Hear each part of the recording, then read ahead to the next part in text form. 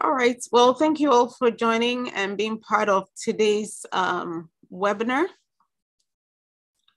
You are welcome to the Wesley Girls High School webinar series. Um, this is our first for the year, and uh, my name is Dr. Bertha right. Well, thank you all for joining and being part of today's um, webinar. You are welcome to the Wesley Girls High School webinar series. Um, this is our first for the year. Uh, sorry for that interruption. Um, this is our first webinar for the year. And uh, today we have a very exciting um, speaker who is going to be talking about breaking the glass ceiling. And uh, she's in the person of Mrs. Patience Akyianu. So I'm going to start with an opening prayer. I will introduce um, our webinar uh, committee members, and then we'll dig right into it. So shall we say a word of prayer? Heavenly Father, we just want to thank you for this opportunity to get together as alumni of our esteemed Wesley Girls High School. This webinar series is supposed to empower us, encourage us, and um, show us how to get ahead in this life. We commit the whole event into your hands, the speakers, those who are coordinating things in the background. We pray for your presence to be with us as always, that at the end, it will be a delightful time together, that out of this, new ideas would come up and people who feel they're lagging behind in their career paths will be invigorated to just press on and push on. We thank you so much for answered prayer in Jesus' mighty name. Amen.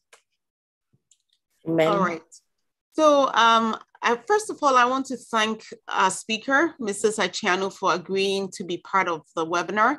And I'm going to briefly introduce um, the webinar members of the committee who work so hard in the background to make this event possible. And so um, I want to thank uh, Ms. Emma, Emma Engman from the 1984 year group, Ms. Beatrice Anouar Brew from 2004 year group, Dr. Hannah Aite, 1993 year group, Ms. Irabna Akumi, 97 year group, and also president of OGA North America, Ms. Gifty Emisa, 1997 year group, Jeanette Kwakupom, who is from 1973 and Vice President of OGA National, Ms. Mercy Kwashi, 1994, Vice President OGA UK and Ireland, Professor Ifwa Hesse, 1990, 1969 and immediate past president of OGA National, Sheila Arthur, 1982, year group immediate past president of OGA UK and Ireland, and Miss Samantha Proja, 1983, president, 1983 year group and president of OGA UK and Ireland. And um, just a few house rules and the format of the webinar. Mrs. Akyianu is going to be giving a presentation that will last probably 45 minutes. And during that time, just get your pen and paper ready and be ready to take any notes because she's going to be um, sharing a lot of pearls that have helped her to get to where she is and um, I'm going to be introducing her in a moment. And if you look on your screen at the bottom, there's a Q&A section. You can type in questions as she speaks, or you can also um, put it in the chat room. And um, if all that does not work for you, you can also raise your hand and we can either call you in or have you type up what you want to say. So let me introduce this wonderful lady who has agreed to be with us today. Mrs. Patience Enyonam Akyianu. Um, I used to call her Kosi in my Wesley Girls Cosina. It's a member of the 1986 year group.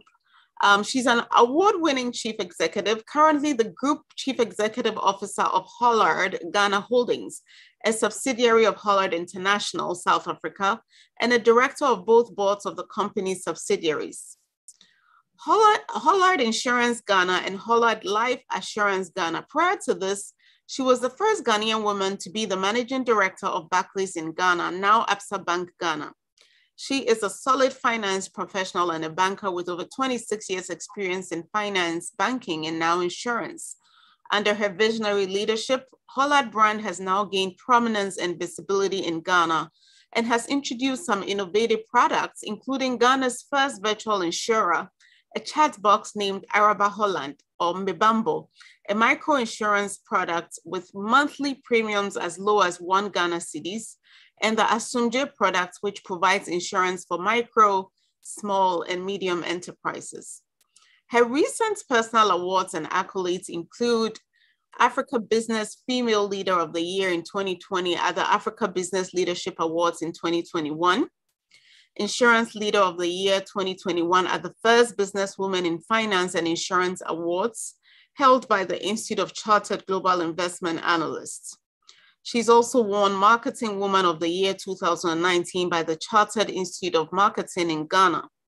And all these have come because of the track record and the results she produces as she works in all these various places. She's also been named the Outstanding Group CEO of the Year 2019 at the Fifth Ghana Finance Innovation Awards, Woman of Excellence 2019 at the Ghana Insurance Awards, and Best Woman CEO of the Year 2018 at the Ghana Insurance Awards. Patience is a certified professional accountant and a member of the Institute of Chartered Accountants in Ghana. She is a founding member of both the Executive Women Network and the International Women's Forum Ghana. She's also on the board of EcoBank Ghana Limited and Haptel Ghana. Patience is married to lawyer Kwame Akyianu and has two children, Irama Ampima Akyianu and Nana Benin Kojo Akyianu, so it is my pleasure to welcome Mrs. Patience Akyianu. Thank you so much for joining us. We're ready for you. Thank you. Thank you so much for that kind introduction, Bertha. Good evening, ladies. And uh, before I get into the conversation, I'd like to say a very big thank you to the organizing committee for inviting me. Uh, I feel uh, this is a privilege, really, and I don't take it for granted. So thank you for this opportunity. And I'd also like to say thank you to my personal assistant, Janet, for putting the presentation together. She's not an old girl, but I think from today we'll, have, we'll adopt as one. so I'm excited to be here, really, um, because it's always great to share the little I know and uh, to hear what others have to say as well. And uh, how I'll take this um, chat forward is to say, start with a bit about myself and then launch into um, what uh, a glass ceiling is, a few definitions and my own definitions, so that we have a common platform um, to start from. And then some of the factors that lead to this um, phenomenon of glass ceiling. And we'll talk about um, how, from my experience, you can overcome uh, and, and get to where you are meant to be. And then we'll also, so as I'm having the conversations, I'll touch a bit on the imposter syndrome, because that is um, a, a, feeling of inadequacy that a lot of people in top jobs, even on their way, and even when they get there, have. So we'll touch on it, and, and I'll give some uh, suggestions about how you know we can continually overcome it. And then I'll end with uh, how we get on boards. And I'll start with my experience and then add on, and then we can take questions from there. So a little about myself, and I'll start. So Janet will be um, showing the slides. I don't know whether you can see the slides, but starting with a little about myself. So I entered uh, Wesley Girls in 81. And um, at the time, I was fatigued. I was so exhausted because I really worked so hard, you know, to get into Wesley Girls, worked so many past questions that my first three years were uh, rest time for me, if you like. And uh, I hardly studied much. You know, I wasn't serious at all. I barely scraped through. Of course, I passed barely, you know, but my potential didn't come out in the first three years in school. And I remember how that, so I suddenly realized, you know, how serious it, it was. And, you know, for those of us who did the O level, A level, you know, in Form 4, so from Form 3 to Form 4, there's this exam that we do, and that's where the sheep are separated from the goats, you know, so to speak. Then the sharper ones get into, if you like, you know, the A1, A2, and A1, A2 are the science classes, with A2 being science without add math, and then A1 being with um, add math. And then you have G, G1, G2. That, that's just uh, perception, really. But a lot of people wanted to be in A1, you know. And of course, I wanted to be in A1, even though, you know, nobody knows whether they would pursue their science aspirations after they finish O levels or not, but everyone was prestigious. And I recall not making it to A1 because of my math, the, the scores I got in the math um, test at the time, but being very certain that, you know, I deserve to be in A1. And therefore, after the uh, O level, going and doing the additional mathematics on my own and proving to myself I could do it. And I did get a one in it, you know. So it's just that determination. And I also remember there was a colleague of mine who also believed that she deserved to be in A1. And she had the opportunity to go to America to do medicine. And she's now a very accomplished doctor, you know. So it's just that conviction. I say this not out of um, regret or resentment or anything. No, nothing like that. Because I believe in purpose. I believe that God orders our steps you know, and even things that look like challenges and mistakes, you know, work out for our good. So I'm not, but I'm just saying it to encourage somebody that when you believe, you know, in something, you should go for it and not allow other people to tell you you are not capable or up to it.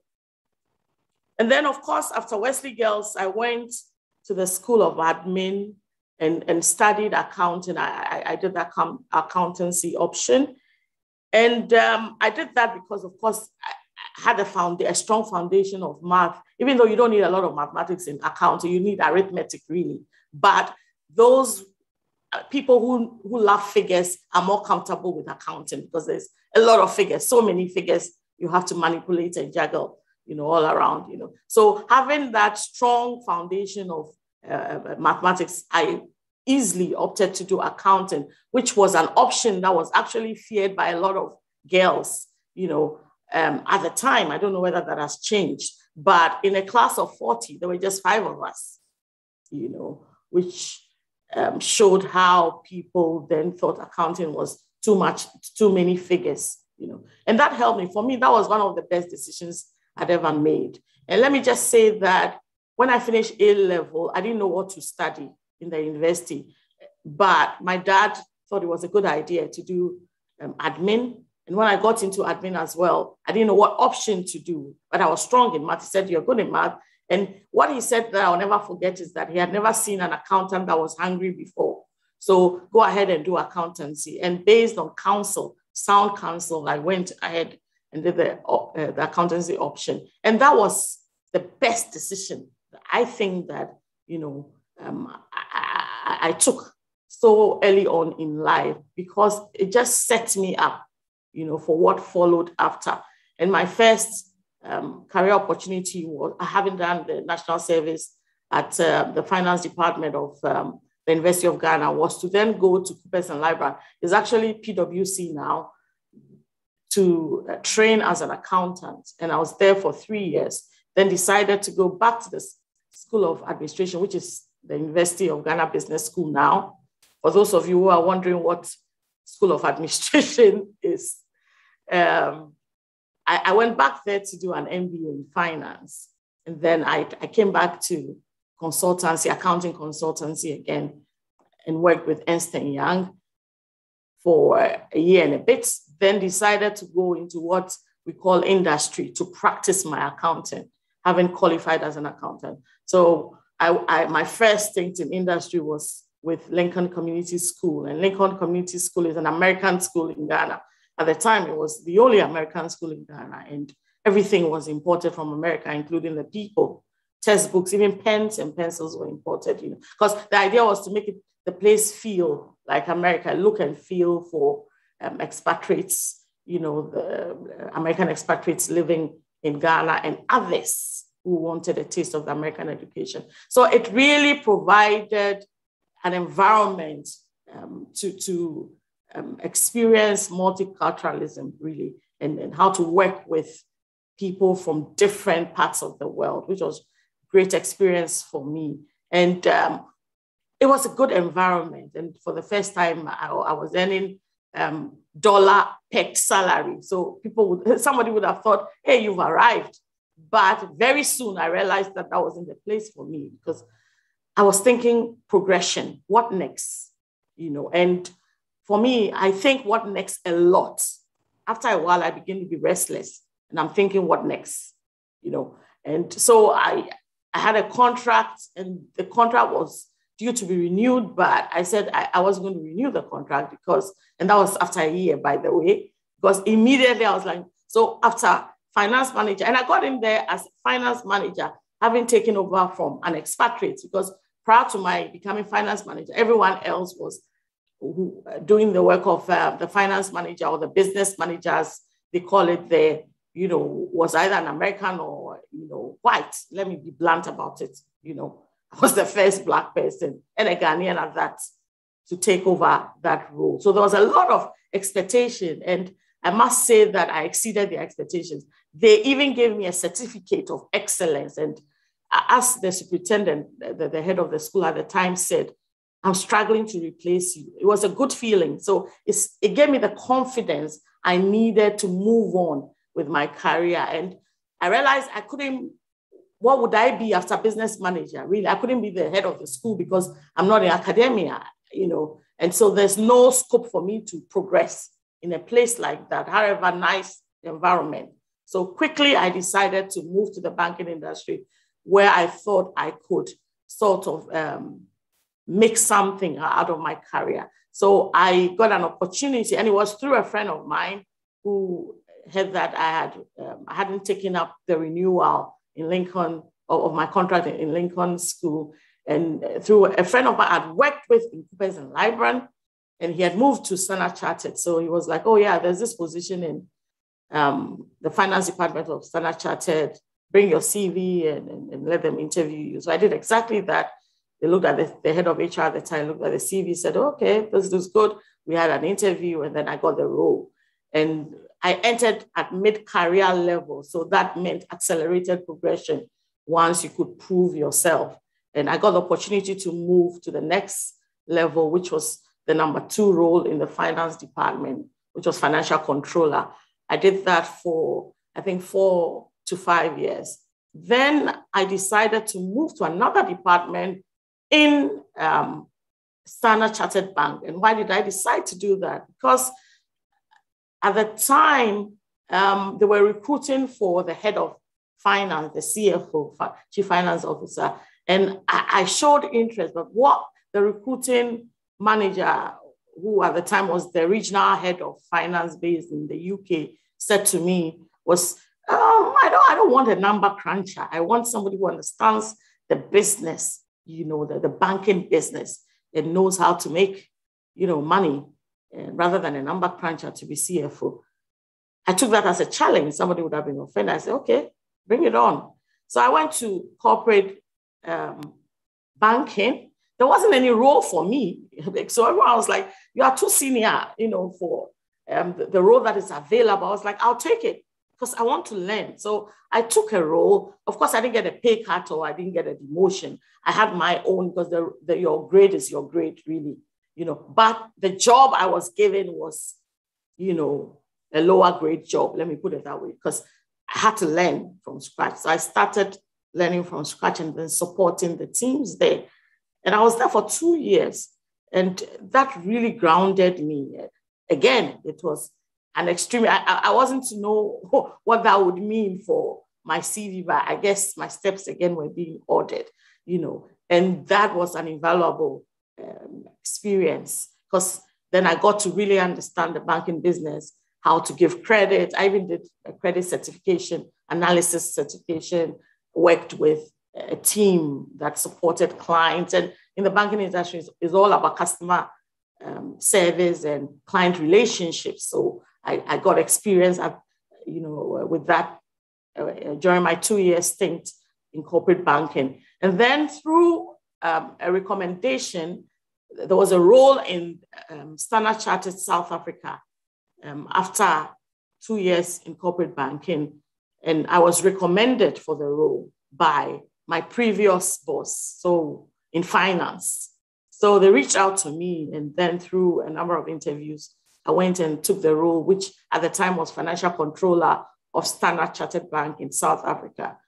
And I did that for six months. Then my boss said, my boss was the chief finance officer, which is the in the finance world, um, the highest role, which is like head of finance and reporting, is uh, present on the board and reporting to the MD. Um, said, well, he said he was tired of of, of um, his role and he wanted another opportunity in another part of the business. So he recommended that I could to the MD that I could do the role. Then the role was given to me. Then one day I was financial controller. The next day I came and I was chief finance officer, you know. And I did that for a while, not for too long. So I was in South Africa for and under two years. And I, I had to leave because of family considerations. I was struggling to juggle. My husband is a lawyer by profession. He had his own practice in Ghana. He wasn't so willing to totally relocate. You know, so it was like, well, how do we sort this thing out? And it was taking its toll on me. So I was like, oh, I think I want to just go back. And so my kids were small, you know, it was a bit of, so the family consideration took precedent and um, took, uh, you know, um, was, uh, took priority, I beg your pardon. And then, um, how did I get my, my, my, the role I got back in Ghana? Again, through my networks. I reached out to somebody who told me they were looking for a finance director in, in Barclays, uh, Ghana. And um, I knew the, the, the, the, previous finance director. I was with him in another organization I'd worked with, and he had moved on. So it became vacant. And then they were looking for somebody with a particular skill set, which really matched mine, you know. So they shortlisted me for the interview, and I went through a series of interviews. The uh, recruiting um, managers were based in Dubai because the head office for Africa was in Dubai at the time. So we did a series of interviews, including going to Dubai, Lagos, etc. Then they said they found the right person, and I got I got the job. So they actually, you know, I, I relocated um, totally at their expense from South Africa back to Ghana. And so I came in in November 2008 as finance director of Barclays Bank in Ghana. And uh, I, I, did that for five years. And then my boss at the time, my predecessor to the, the role of MD, um, my boss at the time also got an opportunity outside, having done the role for the MD role for five years, decided to uh, seek other interests. So the MD for Barclays role became vacant. And when he was leaving, he told his boss that I could act in the role whilst they searched for the right candidates.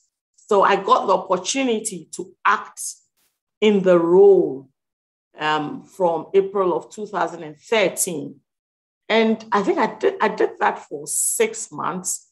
And, and then through, uh, they, they actually went out to look for uh, people so internal, external candidates. And then at the end of it, I got the role in, in October, you know. And then, of course, having done that again for five years, so I was in Barclays for a total of 10 years. I began to think that, you know, I needed a new challenge. And uh, Hollard came along, and I thought it was the right opportunity at the right time. Even though I was not 100% ready because I didn't done insurance before, really, you know. And uh, I also thought there was a, a, bit of unfinished business in terms of uh, long-term compensation I'd left behind in Barclays. I, I, thought, well, there's never a right, a 100% right time. So I took the leap again. And three years on, I don't regret it at all. So here we are. In addition to what I do professionally, I've, I've, I've also uh, set up two uh, professional women networks as co-founder. I founded EWN, which is Executive Women Network, uh, with five other female CEOs in Ghana. And it's now we've handed over to um, the next generation, if you like.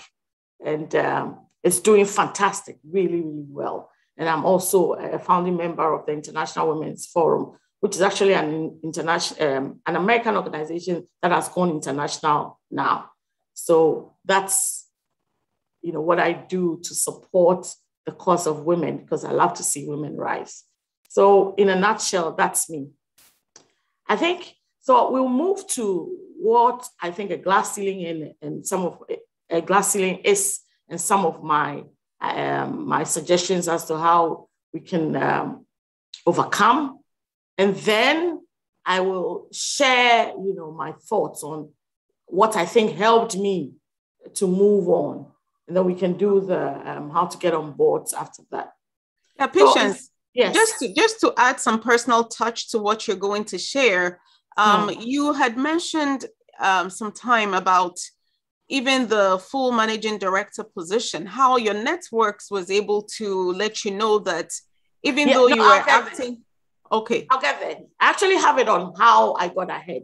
So when we get there, I'll talk about it. Yes.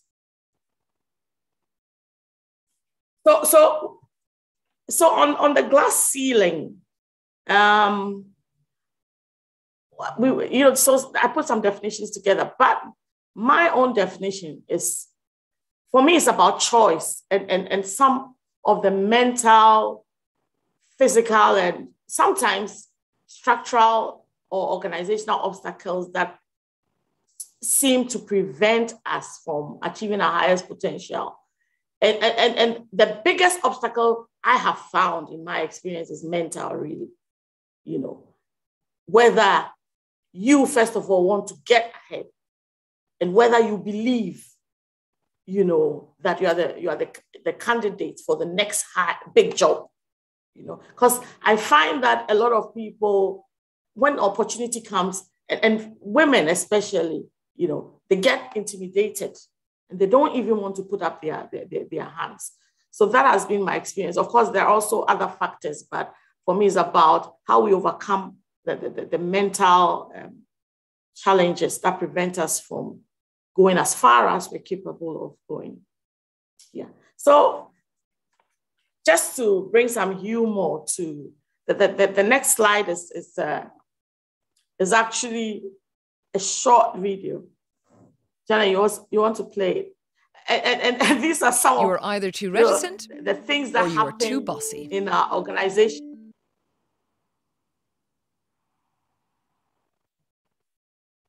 Yeah, you are either on. too reticent or you are too bossy. Worldwide, women hold one in four senior leadership roles. But if we look at who's running the company, just 12% of CEOs are women. So, is business giving women a bad deal? Well, let's look at Silicon Valley, where women hold just one in 10 senior positions. A recent survey of the world's tech powerhouse asked women to reveal their workplace woes, and, well, it wasn't pretty. 60% had faced unwanted sexual advances. 65% felt left out from social events because they were a woman. And 84% had been told they were too aggressive. It sounds like, in many cases, women aren't just hitting a glass ceiling, they might also be climbing a broken ladder. Ultimately, women end up quitting tech jobs at yeah. more than double the rate of men. So, why is a more balanced boardroom so important? Well, research suggests that companies led by mixed gender teams actually deliver better results. The bottom line is that diversity isn't just about ticking boxes. Frankly, it's just good business sense. And as the chairman of one Fortune 500 company puts it, half the population are female. And if they're not working for me, they're working for someone else.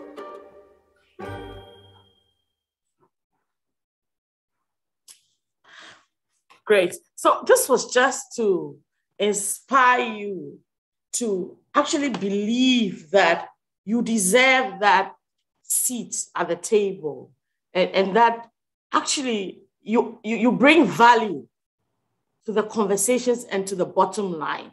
So you must go for it. And we must really change what, what we just saw. You know, I mean, we, we've got, it's high time that we went for those roles because it does make business sense. And just to carry on with a bit of the history, I just put it there for information and, and how this um, phenomenon of um, the glass ceiling started. You know, is a bit of history, but we'll, we'll move on to the organizational barriers. So just moving on to organizational barriers. Yeah. So there are a lot of barriers. Before the organizational barriers, I'll just share some of the factors that I think account for this glass ceiling. So please go back a, a step and let's share some of the factors. So lots of factors account individual, and I already talked about the mental and organizational. We've got governmental factors and then the cultural biases. So moving on to the first, organizational barriers. There's still a lot that actually um, works against women when it comes to um, moving to the C-suite or the, the top jobs in organizations. Sometimes, even without stating, you know, even age works against, you know, people. And um, women who take time to have families end up um, getting late, you know, um, to the ladder, you know, because sometimes people put their career on hold so they could look uh, sort out their family. And to, to be honest with you, I mean, we are women, you know, we have a time period that is easier to have a family. So that tends sometimes to go against us because, you know, after you finish having your children and all that, the men have gone ahead already. So that's something that could affect us, some of the, the barriers that really could affect our progression because it's a very competitive environment and nobody waits for anyone. And then, of course, there are also, you know, w- women tend to be more loyal, you know, I've observed and, and, and I've read several times. So sometimes we tend to remain in roles for too long. And actually, getting uncomfortable and restless is a good thing, you know, because it kind of sets you, you know, off to your next role. And so I think that's something that we must look out for, how long we stay in our roles. And we must be eager to move to the next role when the opportunity actually go out there looking for what the next role is you know because one has to be intentional about acquiring the needed experience for where you need to be or where you want to, you aspire to get to. And then, of course,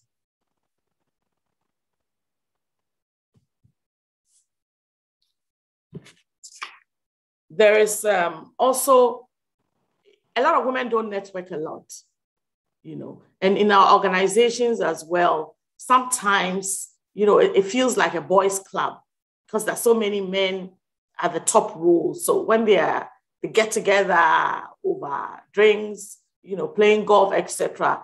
If you don't take care and you don't make a conscious effort to try and flow with them, you actually feel left out. And that's where the, you know, the deals are, are, are signed off, you know. So that's the organizational barrier. Then, of course, there's the um, cultural biases. We all know some of the stereotypes. Some of them are actually unconscious biases that we all have. And I always give this example when I'm um, speaking that you will be surprised. i am a co-founder of two um, professional women's network. I'm really a champion for the cause of women and all that. But without knowing, you know, I still have some biases. I have to, sometimes I have to catch myself, you know. And the example I give is one day I was flying from uh, Dubai to Mauritius, and, you know, flying to Mauritius is over water for hours on end. And you know, in the middle of the flight, they announced that, you know, I don't know whether how important they thought that was, but they announced that the pilot and the captain, you know, was a woman, you know, and blah blah. I can I, I, I kid you not, you know. At first instance, I panicked a bit, you know. And then I caught myself. I'm like, why did you even panic? You know, are you saying that she's not capable? But unconscious bias, that's what I'm talking about. Because sometimes we don't even know we have those biases.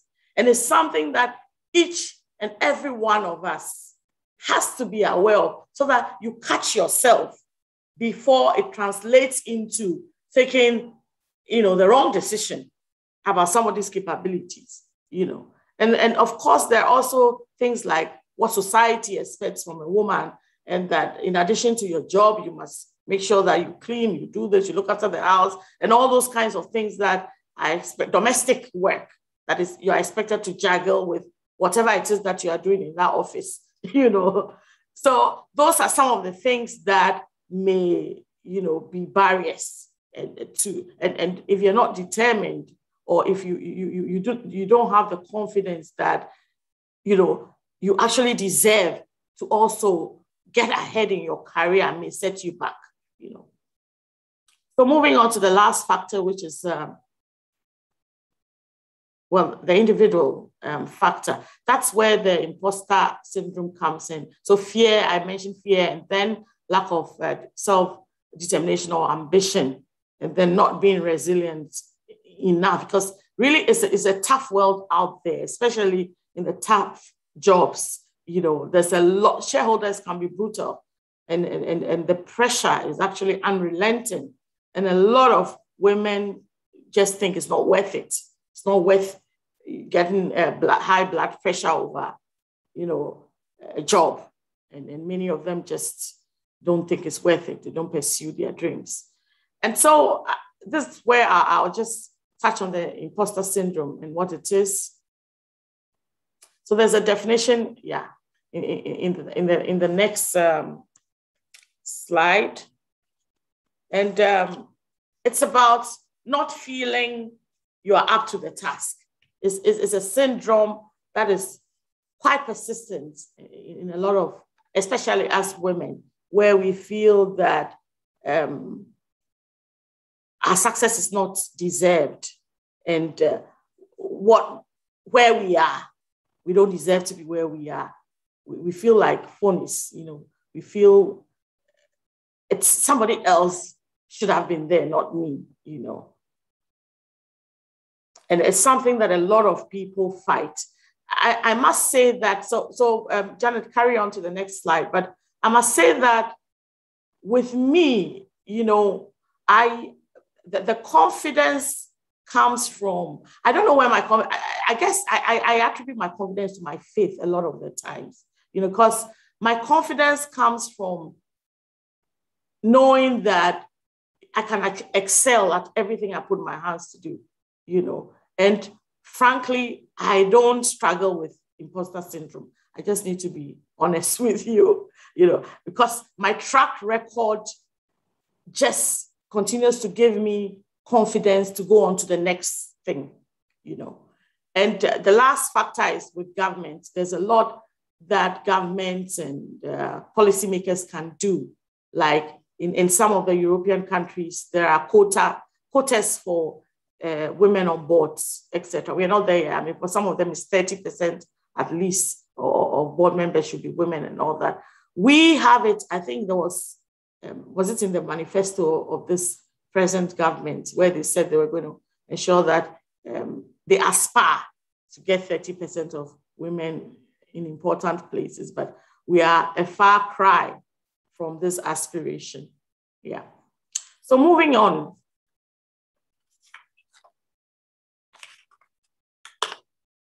So I'll just share some data before I go on um, to how we can overcome the glass ceiling. And on a global scale, you see that Europe um, is doing very well uh, compared, well, not doing, yeah, France, if you have um, as many, you know, as 44% of women being on boards, you have made progress. So Europe is far ahead of um, the rest of, of us, really, uh, with South, South Africa being around the 30% mark for women on boards.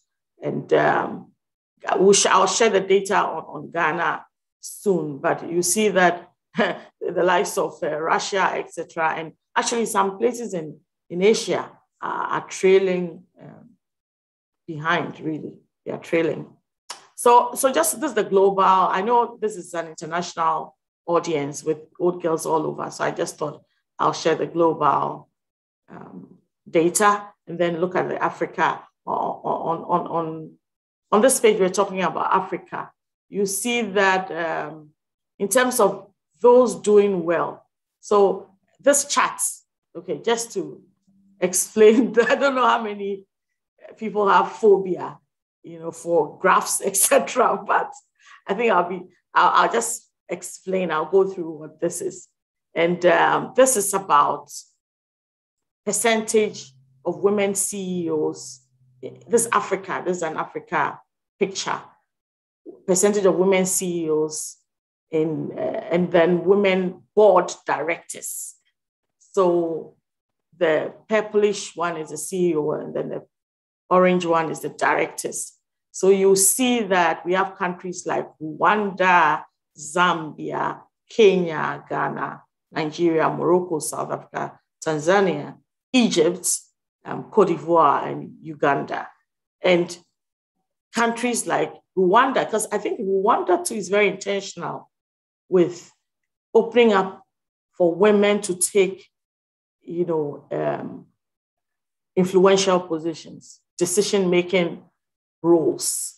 So you see that they've done very well, 33%, both for women CEOs and women board directors, you know, which is really higher than the, the, the quotas, the quota that Europe is looking at, at the 30%, you know. And they're actually sustaining this. So something to look, to work towards. Ghana, look at how this looks. It's even embarrassing. You know, 3%, and this is 2019. Women directors, this has changed. And then uh, uh, the women CEOs, 8%, you know. So there's really, really, really, really a lot of work that all of us collectively, you know, have to do to correct this picture. Because as I mentioned in an earlier on an earlier slide, it actually makes business sense for women to, you know, be at the helm of affairs, be at the decision-making table. I mean, women, a lot in, in many households, women take the decision as to what to buy, when to buy, how much to spend. So if the people making those decisions at the home level are women, why is it that they're not represented at the workplace? So it will be a great idea if those same people decide which products are more suitable, you know. And actually, businesses will do well because those who buy the stuff will be those that are making the decisions as to what to produce, you know. So yeah, so this is Africa on um, boards and then CEOs, and then Ghana. So this is just some um, demographic data, or you know, on um, Ghana, which is clear that we are more than 50% of uh, the population. But I'm going to show you figures for um, listed companies. And out of the um, 35 listed companies um, in, in, in, Ghana, how many, how many women are on those boards? You know, it's um, really reducing. And um, you see from the next slides, you know, that only about 25% are female uh, directors of board members are female directors you know. And then when it comes to non-executive directors, uh, directors that are not part of the management is 27%, you know, and, and that's 2020 data, you know. And this, so I'm going to show you how the Ghanaian board and, and then the C-suite um, looks like. If you look at chair, chairpersons, you know, boards, how many of them are, are, are women? 15%. You know, 85% of boards in Ghana here are chaired by men. Because even when you do get onto boards, you are not, because of unconscious bias, you are not likely to, to be the one chosen unless the organization is intentional about it, to be the one chosen to be the, the, the chairman. And this is not, by the way, this is not a man problem, eh? Because even women think that women should not be the CEOs or the, the, the chair, you know, uh, uh, the chairman, you know, because without, and, and, and this is something that we should be aware of and do. So I say it not to accuse or anything like that, but I say it so that you are aware that, you know, the, the, the issue starts with us. It's not really out there alone, you know, and we also need to take steps to make sure that we support the process. Because when you, you, you know, there was a, a time I was giving a presentation, I was going to talk to a group of people, and I asked a question. So, how many of you actually think that, you know, you, how many of you want women bosses? Or how many of you don't want women bosses? A majority of them, they, they raise their hands. You know, somebody says they, they find it funny, I say chairman. But, you know, I can say chairperson, chair, whatever. But, you know, the, some of them are designation. It's, it's a designation, it's a, it's, a, it's a role, you, you know. And whoever I don't think, I really don't think, I don't make noise about call me chairwoman or whatever. No. The role is a chairman and it's a woman in the role, you, you, you know. But it depends. Some people take offense and they feel you must make it generic and not gender specific, say chairperson. That's neither here nor there. We just want the people in, in, the, in the roles. And how do we get them there? It starts with the mind, is the point I'm saying. And we sometimes are also, you know, um, if you like, I don't want to say guilty, but we must accept some responsibility for not pushing the cause forward and not supporting the side. Because you find that, and, and a lot of the times, actually, the men support us more than women do. And, and that's what it is really. So it's something to be aware of and catch yourself when you find yourself doing that. So there's a lot, all of us, if you look at the CEO roles, 12% compared to 89%, you know, men. Um, if you look at CFO, which is Chief Finance Officer, I mean, can you imagine 4%? And, and, and this is, you know, not the MD role, this is the role, you know, um, a direct report of the MD. And so few women in there as well, you know. And I must tell you that, that one of the most difficult roles in, in an organization, the CFO. I've, I've been there for um, a number of years, you know, before I moved on. So I can tell you that it's actually really difficult. The kind of, there's so much expected of, you. You know, running businesses is about maximizing shareholder returns. And the shareholder at every given time wants to know what's happening in the business.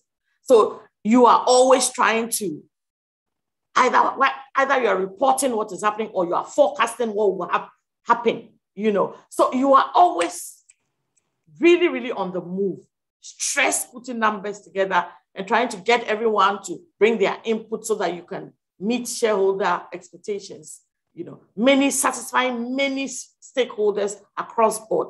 So it's a very demanding role.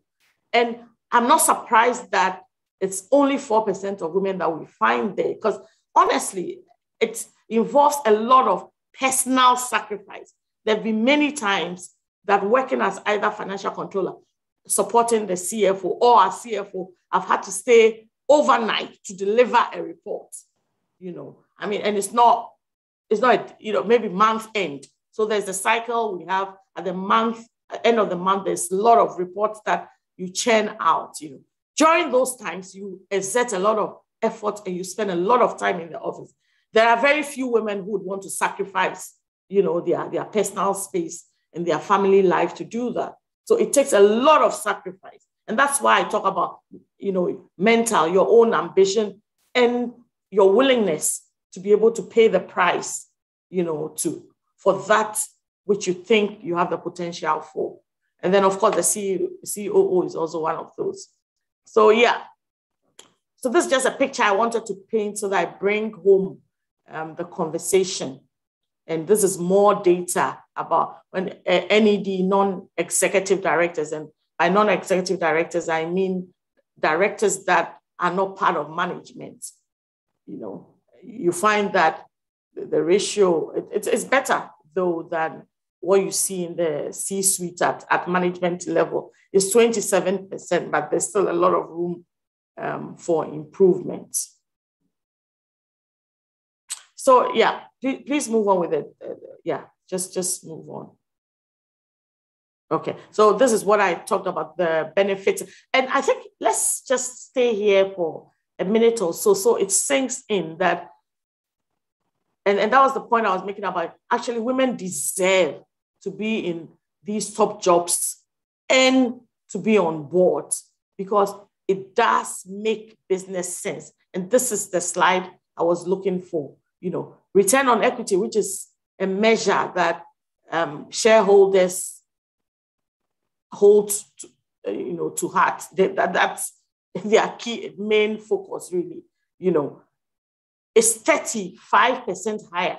Is is been um, the research has shown, you know, on boards that have women on, on them. So really the, the case is made. The, the, the, the commercial imperative is, is quite strong. We just need to go for the jobs, you know, and the opportunities, um, you know, that diversity brings as well, you know, are all um, stated here on this um, uh, slide. So just to give some com- commercial um, perspective uh, to how beneficial it is uh, for women um, to be in this, these top management roles. Okay, so just carrying on quickly. Yeah, so yeah, so now to my, my uh, yeah. Okay. So now to how I think, um, and you know, I say this with a lot of humility that I actually believe that there's a lot of grace, you know, working in my life as well. And my steps are being ordered, and um, it's about purpose. So this is not a prescription, and this is not uh, um, a rule, if you like. And it's, it's just me sharing what I think has worked for me. And I just think that it should be taken in that light because I'm very, very conscious of the fact that there are many who may even be better than me who are not in the role. So, yeah. So, just a few things about having this ambition. So it starts really from you, the goal, you know, to be where you think your potential can take you, you know. And, and for me, it even though um, early in my career, I didn't know that I'll be managing director, you know, as time went on, I just gave everything I did my best shot, really. And I looked forward to the next role. I look forward to progression all the time. So I had a goal, I set a goal. This year, when the year started, I did my plan and you know, I have a goal as to how I'll progress. It takes actually being intentional and putting things on paper and visualizing where you see yourself in the next year, next two years, next three years, four, five years, and even in the long term, where do you see yourself? And you break down you know, um, into shorter time periods and put actions that you can actually measure. Personal, hold yourself personally accountable um, for, for what you need to do to fill the gaps that you've identified are, keeping you from moving to your next role. You know, and by nature, I'm actually very focused and determined. And um, over the years, I've become very resilient. You know, so I um, I, can I go through challenges and like everyone else, you know. Um, but I don't allow them to put me down. You know, I, I try to bounce back and, and go for it, you know. So I, have I've just, I'm just tenacious by nature eh, and, and it's worked for me, you know. And, and, then, and then, of course, I always go for things that I believe that um, I want. And uh, that I don't settle. I and I told I gave you that example of uh, when there was an opportunity for a finance director back in Barclays Bank. No, sorry, Barclays in Standard Chartered Bank. Um, and I was told that, oh, I didn't have experience in uh, banking experience, you know, and that uh, my boss said he didn't want a, a number cruncher. I was like, okay, let me go get what you say you want, you know. So I didn't just say, oh, yeah, they don't like me. A lot of people just personalize things. I find that is very debilitating, you know, to personalize things, assume that is not about you, you know, and take up the challenge, you know. Because I also find that, and I haven't been preoccupied, by the way, you know, as I progressed along the line, the whole idea of being a woman was, for me, really very far from my mind. I just focused on delivery. When I say that, but I, I just say it, that's my experience. It was later on, you know, when I, I, I took the senior job that people felt, felt inspired and were like, how did you manage it amongst all the, amidst all the, you know, um, discrimination and, and, the, and I was like, trust you, uh, trust me, I did not think that anyone discriminated against me along the way. I didn't even feel it. I just focused on delivery.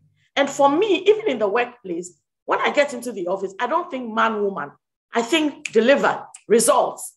How do we get this done? So if the results are coming from a woman, I want you on the team. If they're coming from a man, I want you on the team. I just want people who will, I can rally around, you know, for us to go for it and achieve the vision. And my focus when I get to an environment is to deliver. You, you, you know. So with, with that, you know, I because I wasn't so conscious about being female and how, you know, and all these barriers. For some reason, my results just worked for me. They just translated into people wanting me to, to be on their team and wanting um, and, and giving me the opportunity to take that promotion to that next job. You know, so I think for me, if I, I were to advise up and coming young women, I'd say don't be so preoccupied of occupied with the idea of being a woman in the workplace. Because actually, that could, first of all, intimidate you.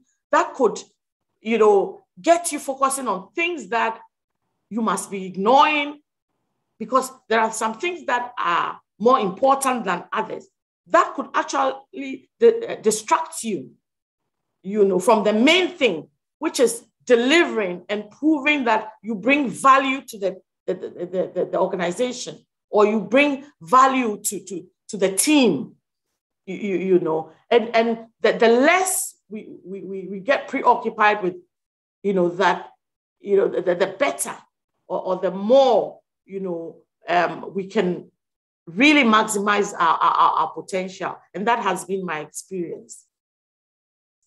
And of course, is um, how you balance family and, and, and work is also very, very critical to um, sustained uh, progress, especially at the top. And then, of course, I have a few more suggestions around, you know, how you can. So the next slide, please.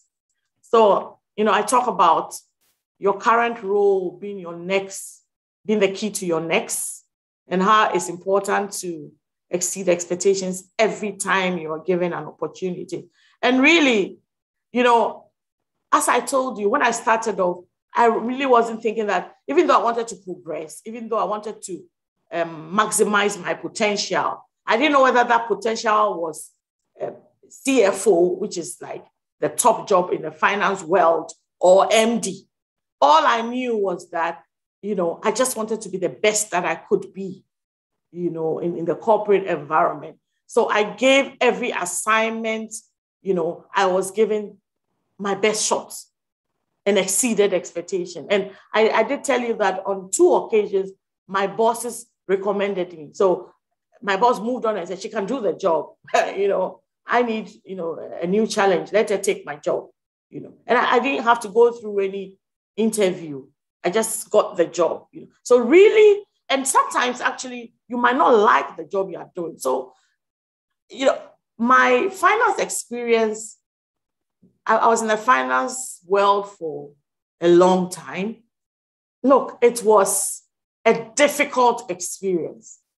And if you ask me, you know, when I, I, I, became managing director, I actually got an opportunity. There was an international organization that was recruiting for um, finance director. It was one of these United Nations, blah, blah, you know, organizations. And they wanted a group a finance director, which is actually it's an international job. So it's actually a big job, you know. But the whole idea of going back to do finance, I'm like, nah, nah, nah. I've paid my dues. It's too hard. You know, I'm not going back. Even though that's not, you know, my preference, whilst I was in the role, you would have thought I was having a party. I gave it my best shot. I was very passionate about it. I exceeded expectation. I put in the work. I stayed late because I realized that I was building, you know, um, my profile and acquiring the diversified experience and, and making myself versatile you know, and versatility, by the way, is key to getting the top job, the MD role, you know, and all that, uh, you know, was filling my, my reservoir, if you like, you, you know. So it, it was hard work, but I gave it my best shot because I reckoned it was the key to what ultimately I wanted to be, you know. So it's that realization. Sometimes you may not like the job you're doing, but to the extent that you feel that it counts in helping you acquire, you know, uh, the, the, diversity, you know, that is um, in terms of skills and uh, experiences that you need, you know, for a bigger job. I think you should give it. Don't complain. Don't, you know, because if you complain and you get distracted, so you will not be able to focus and excel in the role. So it's really important that your current role, remember, is your key to your next role. And then it's about taking risk as well. Even my, my leaving Barclays, a comfortable, high profile role and taking a role in a smaller organization that I was recruited to grow in a, an industry I knew nothing about. I, Sometimes I wonder what I, whether, as they say, what I've smoked. Uh, what, what, did you smoke against? Because sometimes I, I, pinch myself and I'm like, okay, you know, you really can take some risk. But at the time, I'm very convinced. So I take, I, I just take that leap of faith because I'm somebody who is visionary. I can see uh, the picture of how things have the potential to be, you know. So when I took that job, I saw what could become of Hollard, you know, and I, I, I made the move because I really liked the purpose of the organization. The purpose, our purpose as Hollard is to um, enable more people to create and secure a better future. You know, I like, and we, we had, um, we, we say we do well by doing good, you know. So I thought I really wanted, to, it's a, a totally purpose driven organization you know, we go about everything, uh, you know, with, with, with our purpose at the back of our minds, you know. And for me, I'd gotten to that point in my life where I felt that I wanted to do something significant. I wanted to be a catalyst for positive change and, and, and leave a legacy, you know, that I could be proud of, you know. And, and, and so that pushed me really to take um, the, the, the, the, the role. And as I said, three years down the line, I think it was one of the best decisions that I took because even though the first couple of years were tough, I mean, you can imagine now, you know, all the hard work that we put in um, over the last three years is um, obviously translating into progress and growth, you know, and, and, and I'm very happy that I, made that decision. But if I didn't have, you know, a risk taker um, orientation or, or, or posture, I, wouldn't have been able to make this decision. I would have just said, ah, let me just be comfortable where I am and, and, and take it from there, you know. And then the, another risk that I took was when I, I, I, I went to South Africa, you know, I, I left, then I went to South Africa.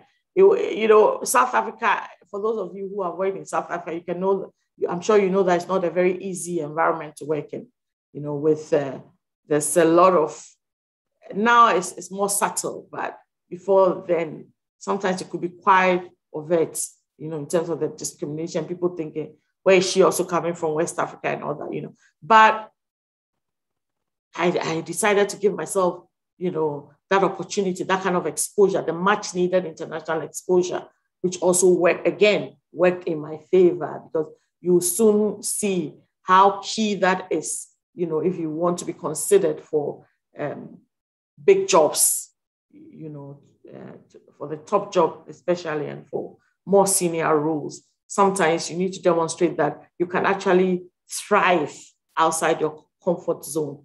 And it involves taking risks, you know. So that's just two examples, but many times in my career, I've had to take risks.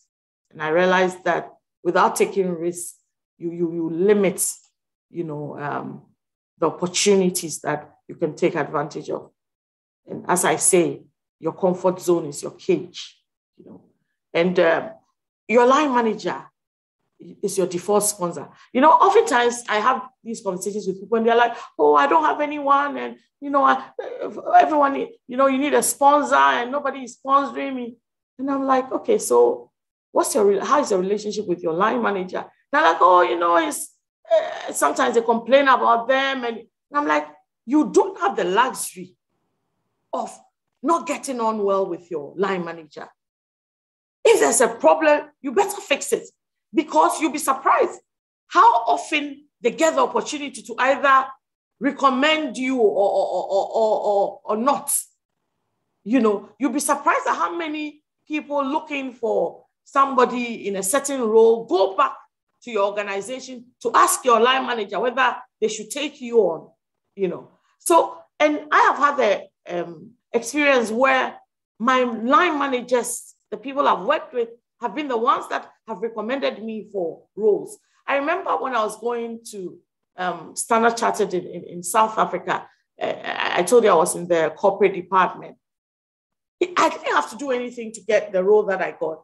I I got an email one day, you know, I'd gotten to that time that, you know, I was like, oh, I need to move, I need to move again, you know.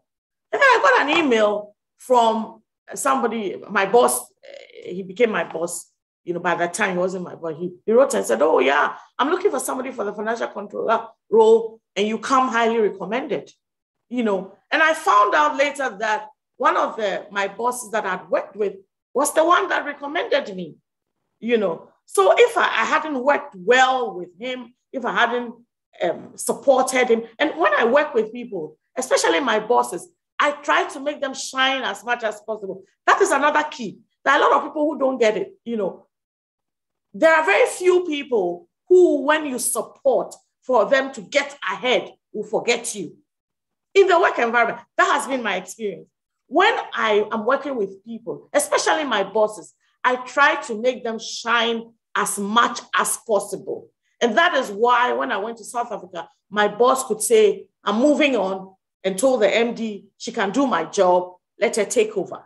You know, when I also, you know, back in, in, in Ghana, when the MD who was um, my, my boss at the time, when I was finance director, was going away, he recommended that I acted whilst they look for the right person to do the job. You know, so really, you you must get to a point where in your team you are sure that when you are not there, even when you are not around and conversations are being had, your boss will recommend you. You, you know, and you get you get there when it's very clear that you've worked hard in pushing um, your boss ahead. You know, a lot of people want to always be recognized. Oh yeah, I I did this and I am doing the work and my boss is getting the glory. Don't worry, your time will come. If you do it diligently enough and consistently enough, there'll be a time that your boss will move on and you and you will be the natural person that will take over. Or there'll be another opportunity somewhere and he will say oh i can vouch for this person. Because let me tell you however good you are eh, no matter how good you are if nobody recommends you you are getting nowhere. And that's another truth another fact that we need to come to terms with. Somebody has to say you are good before you get that job or you even get a foot in the door. Somebody has to say, I'm a witness. This person can do this. And who better than the person you work directly with, your boss? So please, that's one relationship you must never joke with. And then I talk about grit as well.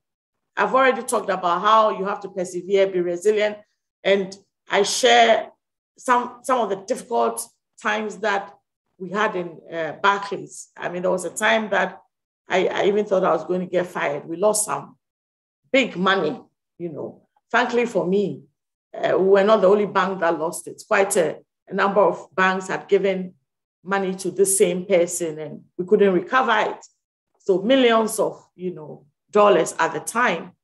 But by the grace of God, we bounced back and the next, next year's results were outstanding. So obviously that erased that record, you know. So, the, you know, the, the ability to bounce back. And when I took over Hollard as well, I mean, the first two years, last 2020 was a tough year for me.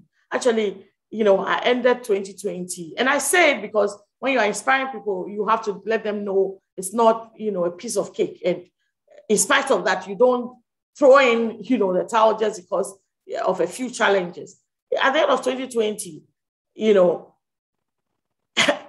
actually felt like just coiling in bed and covering myself and not doing. I mean, I just wanted to resign, honestly, you know, because we had worked so hard. As I said, the market was tough. It's a tough industry. It, the bottom line was not reflecting the hard work. And I just thought, huh, maybe I should just, what's all this, you know? But I, I, ended, I entered 2021 with some vim I guess through prayer and everything, you know, that just set off the business to a great start, you know, and 2021 was a great, a really, really great year for the business, you know. So you go through those and you have to be conscious of it. You have to be prepared, you know, and be able to continue to forge ahead in spite of the obstacles because I promise you, I promise you, they will come, you know. And then, of course, skills that you, you also have to be aware of the skills that you need for where you want to get to. And if you want to get onto a board, if you want to get into top management, and then some of the skills you have to be able to, you know, uh, uh, prepare, uh, prepare and implement a strategy. I mean, a winning strategy, winning formula, you know, because you'll be told what your a mandate is by the shareholder, whoever appointed you. You'll be given targets and you need a winning strategy to be able to deliver on those targets. And so you need to know how to go about it, you know. And then, of course, there are other skills like leadership.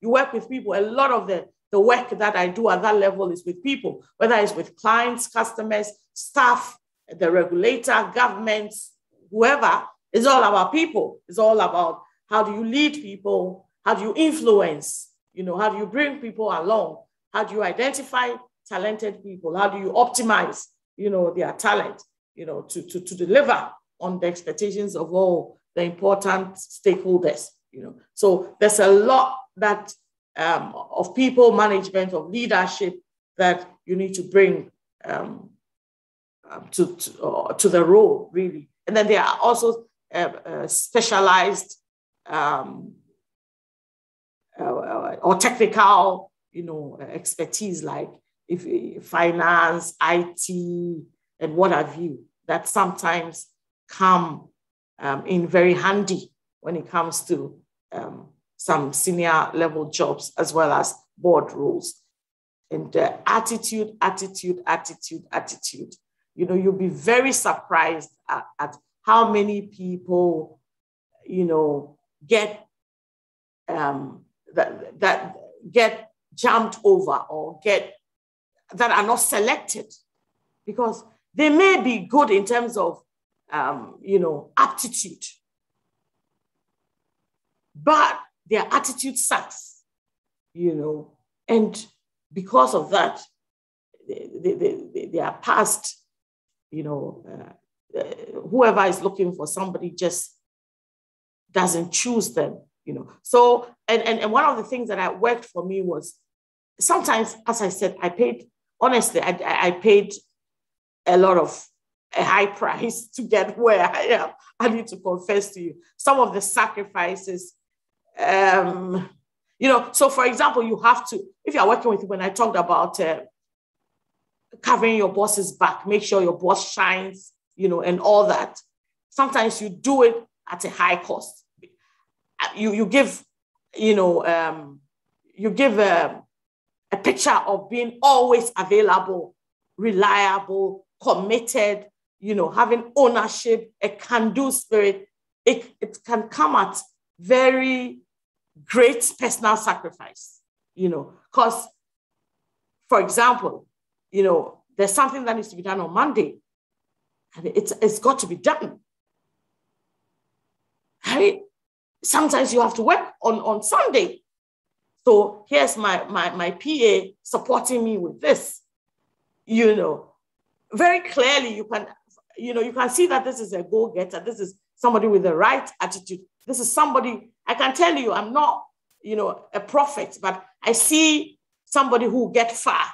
When I see somebody who knows what to do to help uh, meet their boss's objective. You see what I'm saying? I'm just giving you a practical, real life, you know, um, on the spot example for you to see what a can do, reliable ownership, you know, attitude to life can do for you in your career. It can only get you ahead, you know. And then, of course, always delivering and focusing on execution is really, really, really key. And then to what um, the question that Bertha wanted me to, to, to answer on, on um, uh, you know, so on when I when when I became acting managing director for Barclays, which was in April 2013, I, I was doing the role for six months.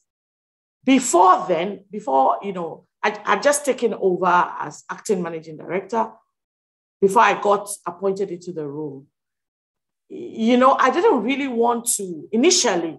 I was like, ah, this role, you know, uh, they'll probably go and bring somebody from outside. And because I didn't want to set myself up to be disappointed. So initially I was like, yeah, I'll just be a caretaker and whoever they want to bring, they can bring and all that. So when I got the opportunity, I was chatting with uh, somebody really important. I, I don't want to mention, you know, who the person is, at, but in all the decision making and all that, somebody really important. I was chatting with them.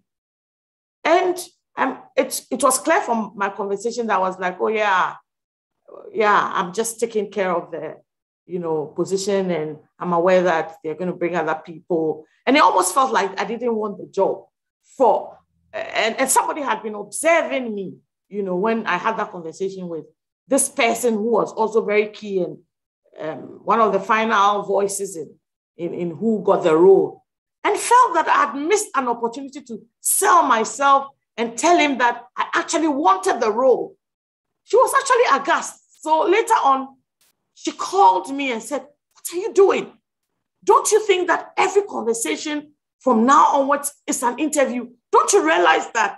Why didn't you indicate your interest in the role and tell the person that you give it your best shot and all that? And you acted like you really didn't want the role. You know, don't mess up this opportunity. It's one in a million, you know. And she she had that conversation with me because she felt that she needed to mentor me. You know, she was privy to some of the things that were happening, and she felt that no, no, I'm not going to allow this person to miss this opportunity. And she did that because th- there was that relationship, you know, because she didn't have to do it.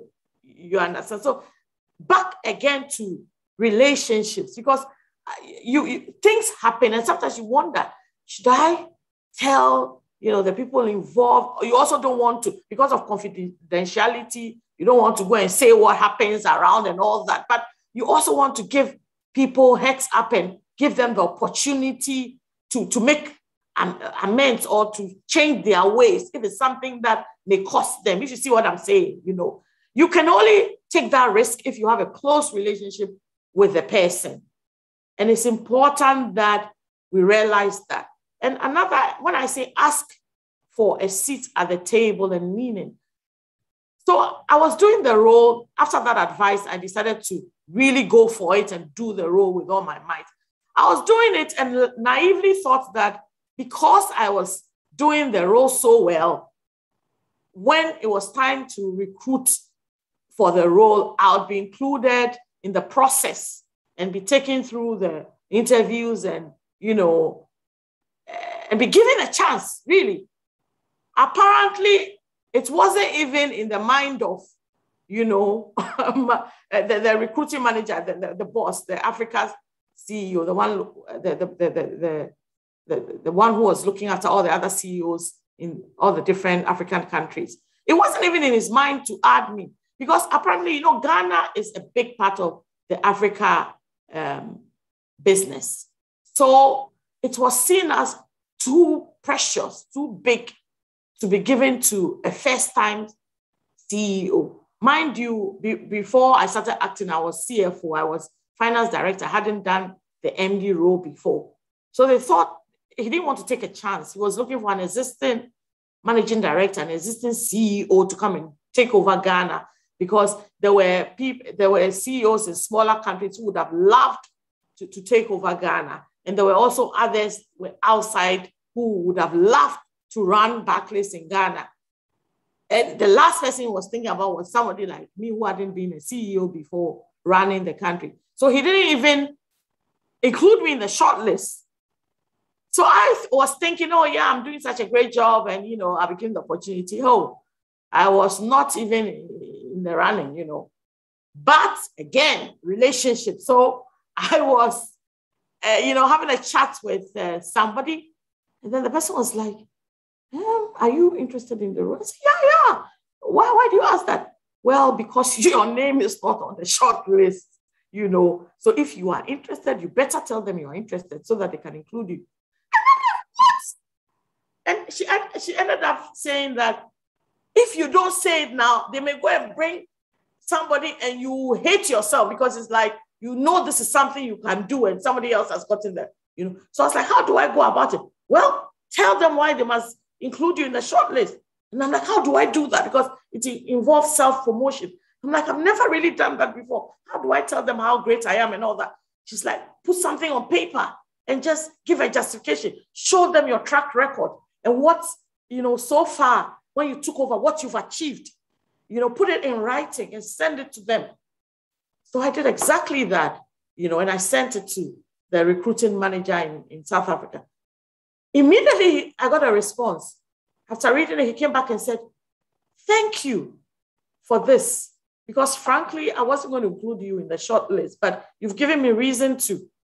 So I'm going to add you to the list of, you know, those going through the process and then um, let's see where that takes us. The rest is history, really. But I must say that it was a rigorous interview. I haven't had any such a rigorous. I went through what they call an assessment center, where they do all sorts of psychometric testing, you know, layers of interviews. And at the end, I thank God that, you know, I, I, I came uh, tops you know, uh, through all the process, and I was appointed in the role. And um, to the glory of God as well, you know, my performance in the role justified um, the appointment. So I need you to understand that sometimes things that you know you want or you think um, you have the potential for don't always come on a silver platter. Sometimes, and I'm sure oftentimes, you have to lean in, you have to ask for that opportunity and that place at the table and justify it because it's not going to come, you know, to you easy. So that, that's it. And then just moving on quickly, quickly, quickly. Yeah, to the next slide. Yeah, I saw that. Yes, self promotion is sometimes okay. I know uh, culturally and all that, a lot of us feel that, oh, yeah, modesty. We are taught to be modest. Oh, don't blow your own horn, blah, blah. But in the corporate environment, hey, if you don't say, there's a lot of show and tell that happens there. If you are not one of those that can show what you're doing and, and how you can add value and how you, why you must be considered, I can tell you that you'll be you'll be ignored. Honestly, a lot of the times you'll be ignored because there'll be many others, and especially men do that better than women, you know, and that's something that we can learn as ladies. And then um, this is um, on breaking the glass ceiling and how um, I, I think we can overcome this imposter syndrome. I said, for me, you know, I haven't really had to deal with that. But how I think um, I've been able to overcome this is always being authentic, really. And, and I keep telling myself that I don't have to pretend to be what I'm not. You know, obviously, when people give you the opportunity, they know who you are. You don't have to pretend to be somebody else.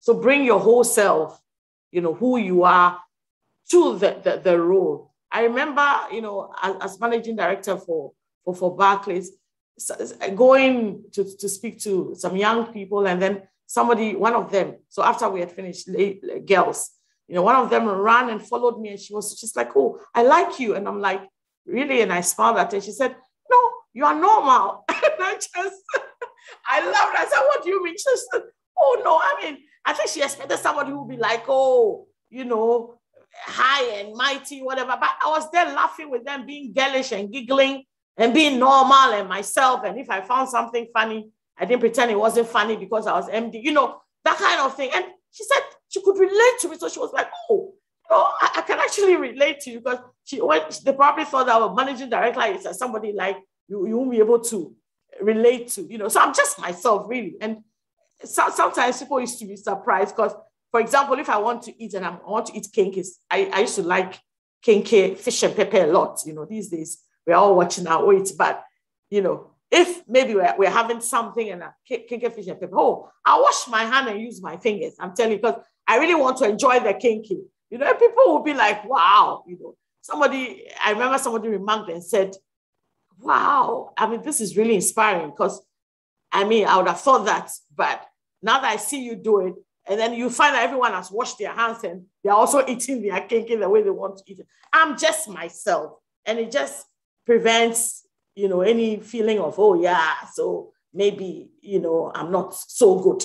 You know, this is me and I still got the job. So, you know, and then um, about, uh, I think humility. Humility is also recognizing that you don't know everything, uh, you're still learning.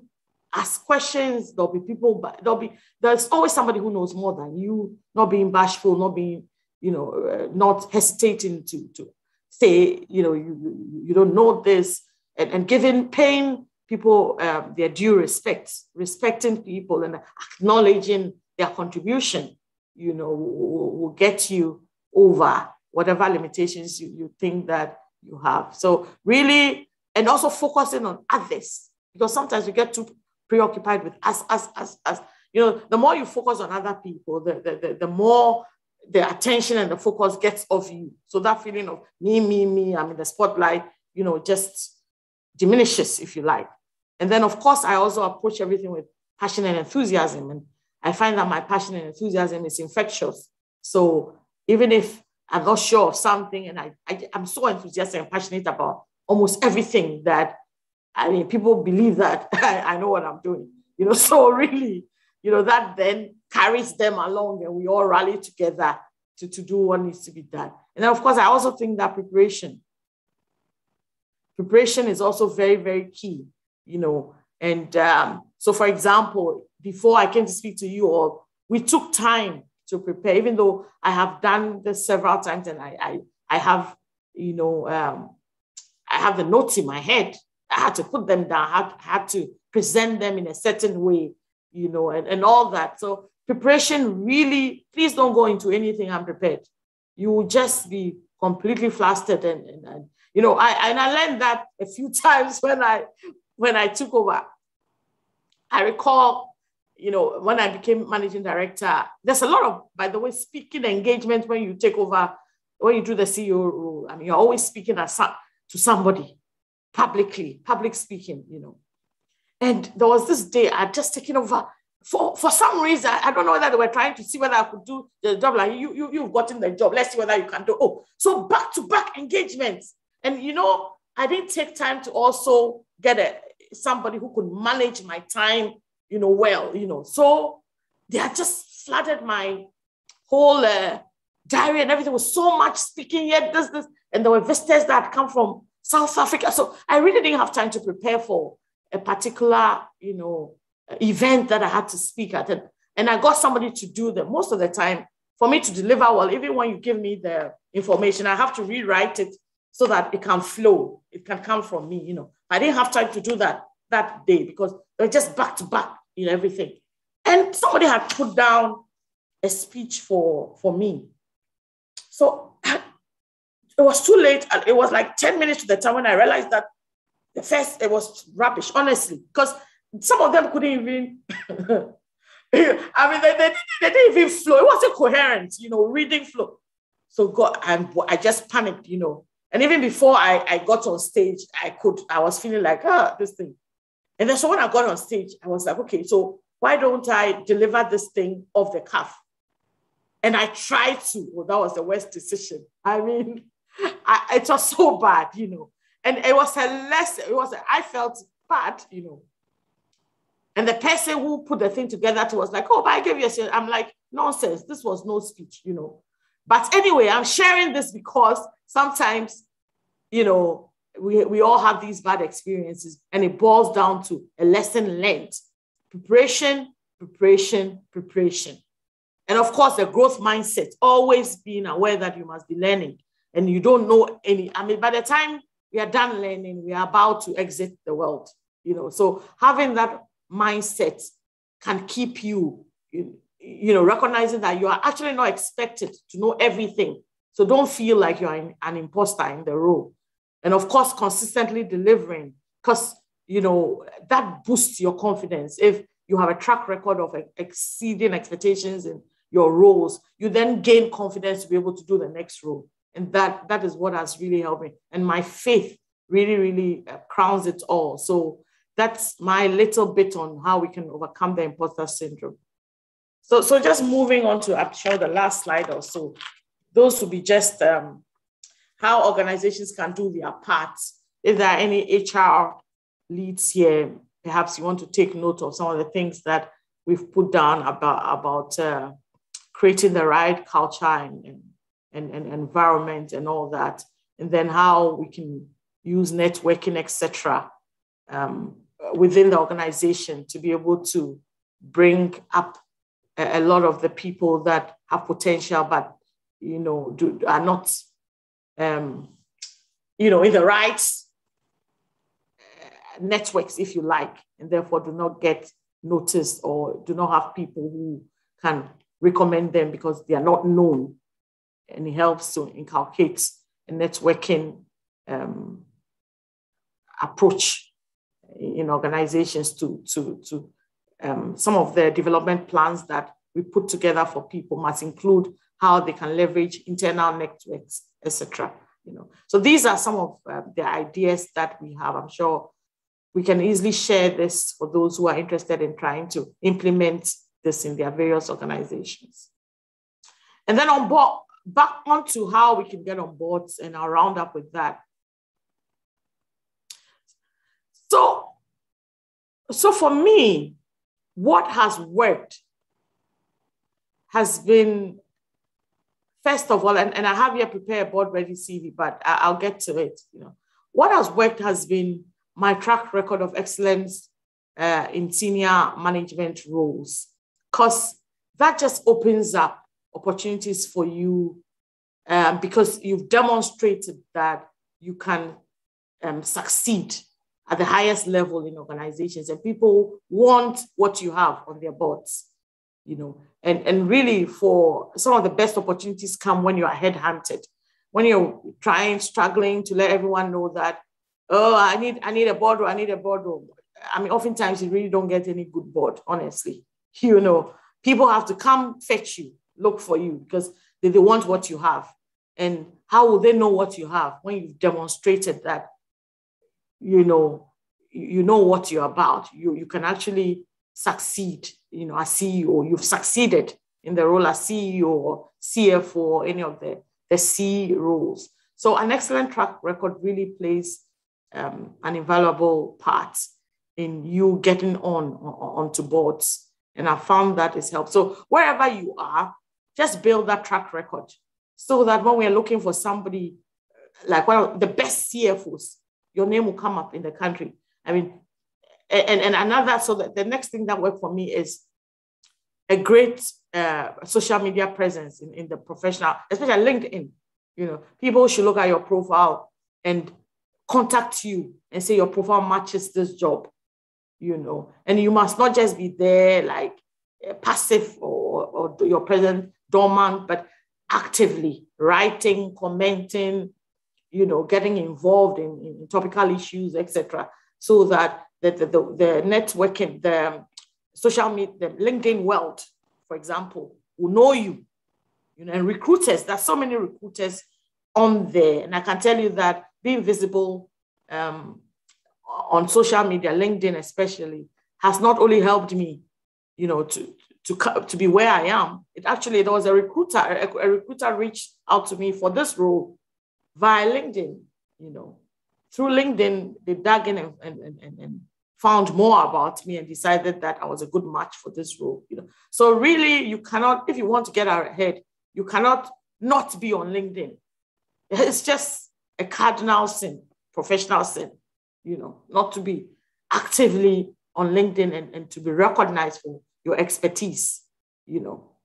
And boards tend to also, for example, when, when I, I, I left Barclays and, and, and I came here, I mean, a number of, before I got on the, after I got on to and before I got on the EcoBank board, a number of banks reached out to me and, and asked me whether I wanted to be on their boards, you know. So really this, and then also being visible generally, accepting public speaking. So I accept one of the reasons, of course, apart from the fact that I love you all ladies, you know, and all that. And I want to inspire as many people as possible. Another reason is this is a, a great public speaking opportunity. Who knows what's on this call? Who's on this call? I beg your pardon. You see what I'm saying? And what can come up after this? So I, I try not to miss a lot of opportunities, you know, to share and, and be out there. And you get quoted a lot in the papers, and you are out there all over, you know, being visible. And that's just creating um, you know, the opportunity for you to get that next role, you know. So very, so write those of you who are not writing, start writing, you know, for anything, any paper at all, you know, and being out there offering your expertise and being known for it, you know. And then, of course, um, international experience also counts. And that's why it's important, you know, to take that leap of faith and get out of your comfort zone to another country. And, uh, you know, if you're in a, a, a, multinational organization, the opportunity does come up for you to take that role in that other country. A lot of women will say, oh, my family, blah, blah, blah. Yes, family is important. And I, I confess to you that when I went, I struggled and I had to come back, but I did go. You know, I did go. So I think you must take that opportunity when it comes up to work in another jurisdiction because it only diversifies your um, your your um, international experience and gives you the needed exposure, you know, which is critical for the top job, you know. So um, yeah, so I talked about being well known for expertise in, in, in, in a particular um, field as well. It also plays a good role. So when I was approached to be on the EcoBank board, one of the main reasons was how, uh, of course, apart from being, um, uh, you know, a previous CEO of a bank, you know, a high performing bank, you know, I was uh, also um, shortlisted because of my finance, my strong finance background, because they needed, and it worked that I was a woman, because they needed another woman on the board and with the right skills, you know, and I have the skills we're looking for because I'm, I'm, I'm currently the chairman or the, the chairperson of the audit committee. You know, an audit committee, you need to be an accountant, very grounded in accounting finance. So my expertise in accounting finance played a part in addition to having been CEO of a bank in being headhunted for the role of EcoBank non-executive director. And it was the same really with um, my Hubtel board membership, where they were looking for a seasoned um, CEO of a bank because they had just uh, started being regulated by the central bank and, and they, they needed somebody who knew what they, they needed to, to do, who knew what to do, you know, um, to, to, keep the organization in, in good standing uh, and all that. So, yeah, so all the expertise that you acquire along the line, sometimes, you know, once people um, get to know um, you for that kind of expertise, um, sets you up to, to be, um, if you like, um, to, for, for um, to be headhunted, you know, uh, for specific. So handpicked was the word I was looking for, for setting board or top management rules. And then, of course, I, yeah. So what, what helps, you know, in addition to what my own personal experiences, which I, I've just shared, what helps is also to have prior evidence of experience on boards. And oftentimes people just want to be on boards, just want to jump and be on a board. But it doesn't just, just like how people ask for work experience, people to ask for board experience. And you can sometimes show that when you volunteered. So it's not every board job that is paid. You, you can start by volunteering. I'm sure there's a lot of opportunity to be on committees at church, for example. And if you can show that you are you are on board in maybe church or some other informal, you know, arrangement, or even other organizations like Rotary and all those kinds of things that people join, where you can play, you, you've played either a, a leadership role or a board role, and you were not paid, a volunteer, you know, opportunity. And you've done that, that, that you have a proven, uh, you know, uh, track record, if you like, you, you know, in those volunteer roles.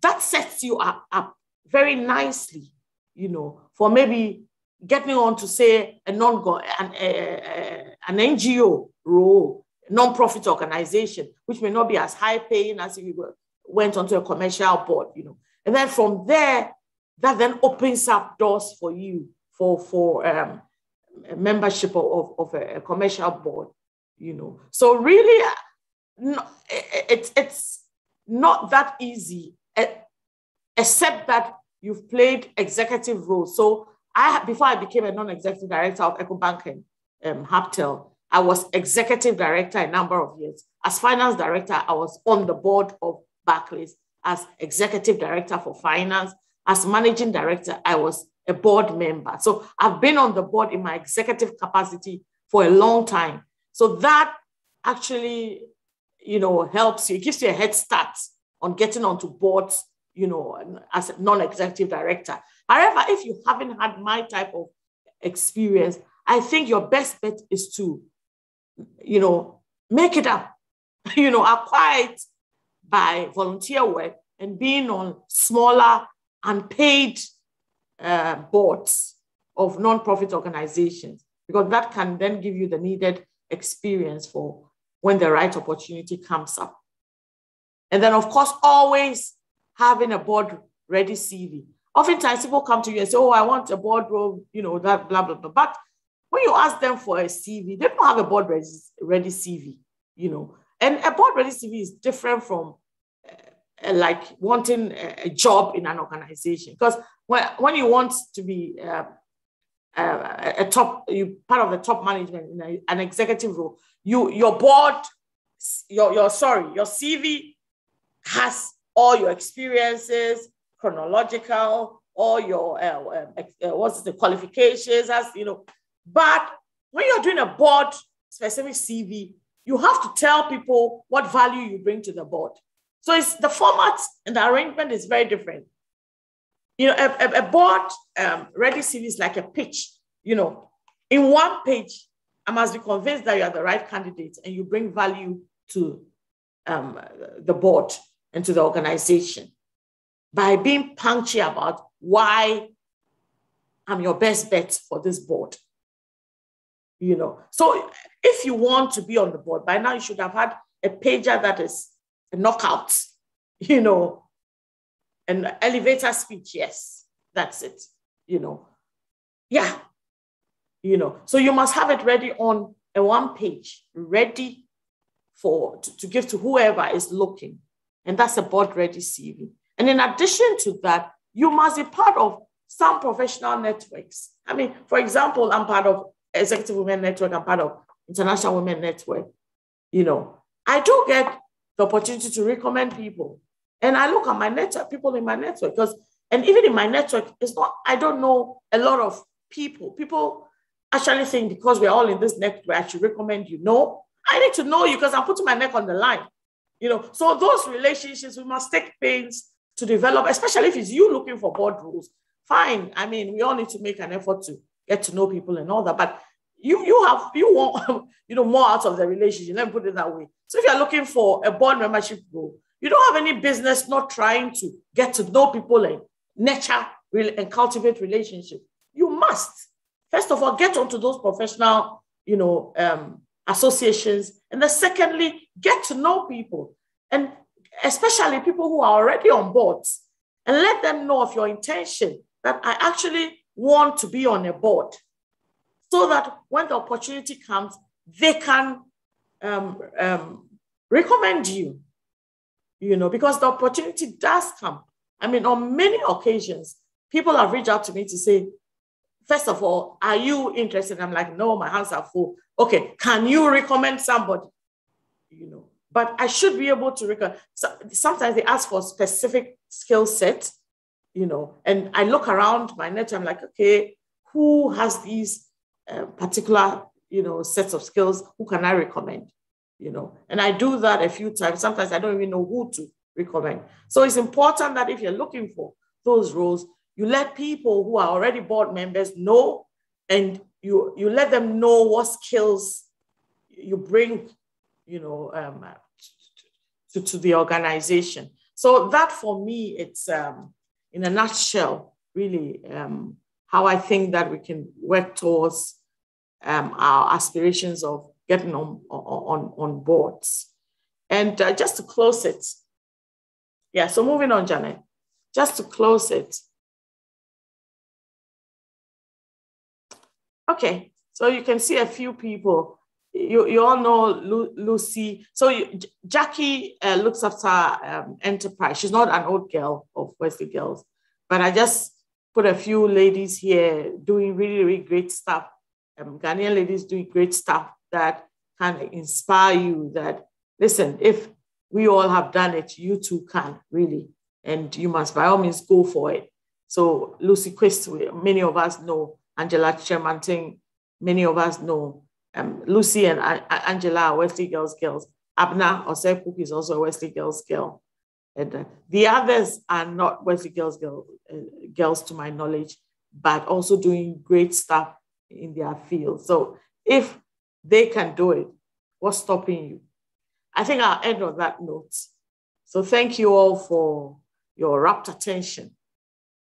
I hope it was useful. Yeah, these are, and you see Hannah there. Hannah is an old girl as well. So Hannah doing great stuff out there as well and really inspiring. So once again, thank you so much for your kind attention and for the opportunity. Yeah.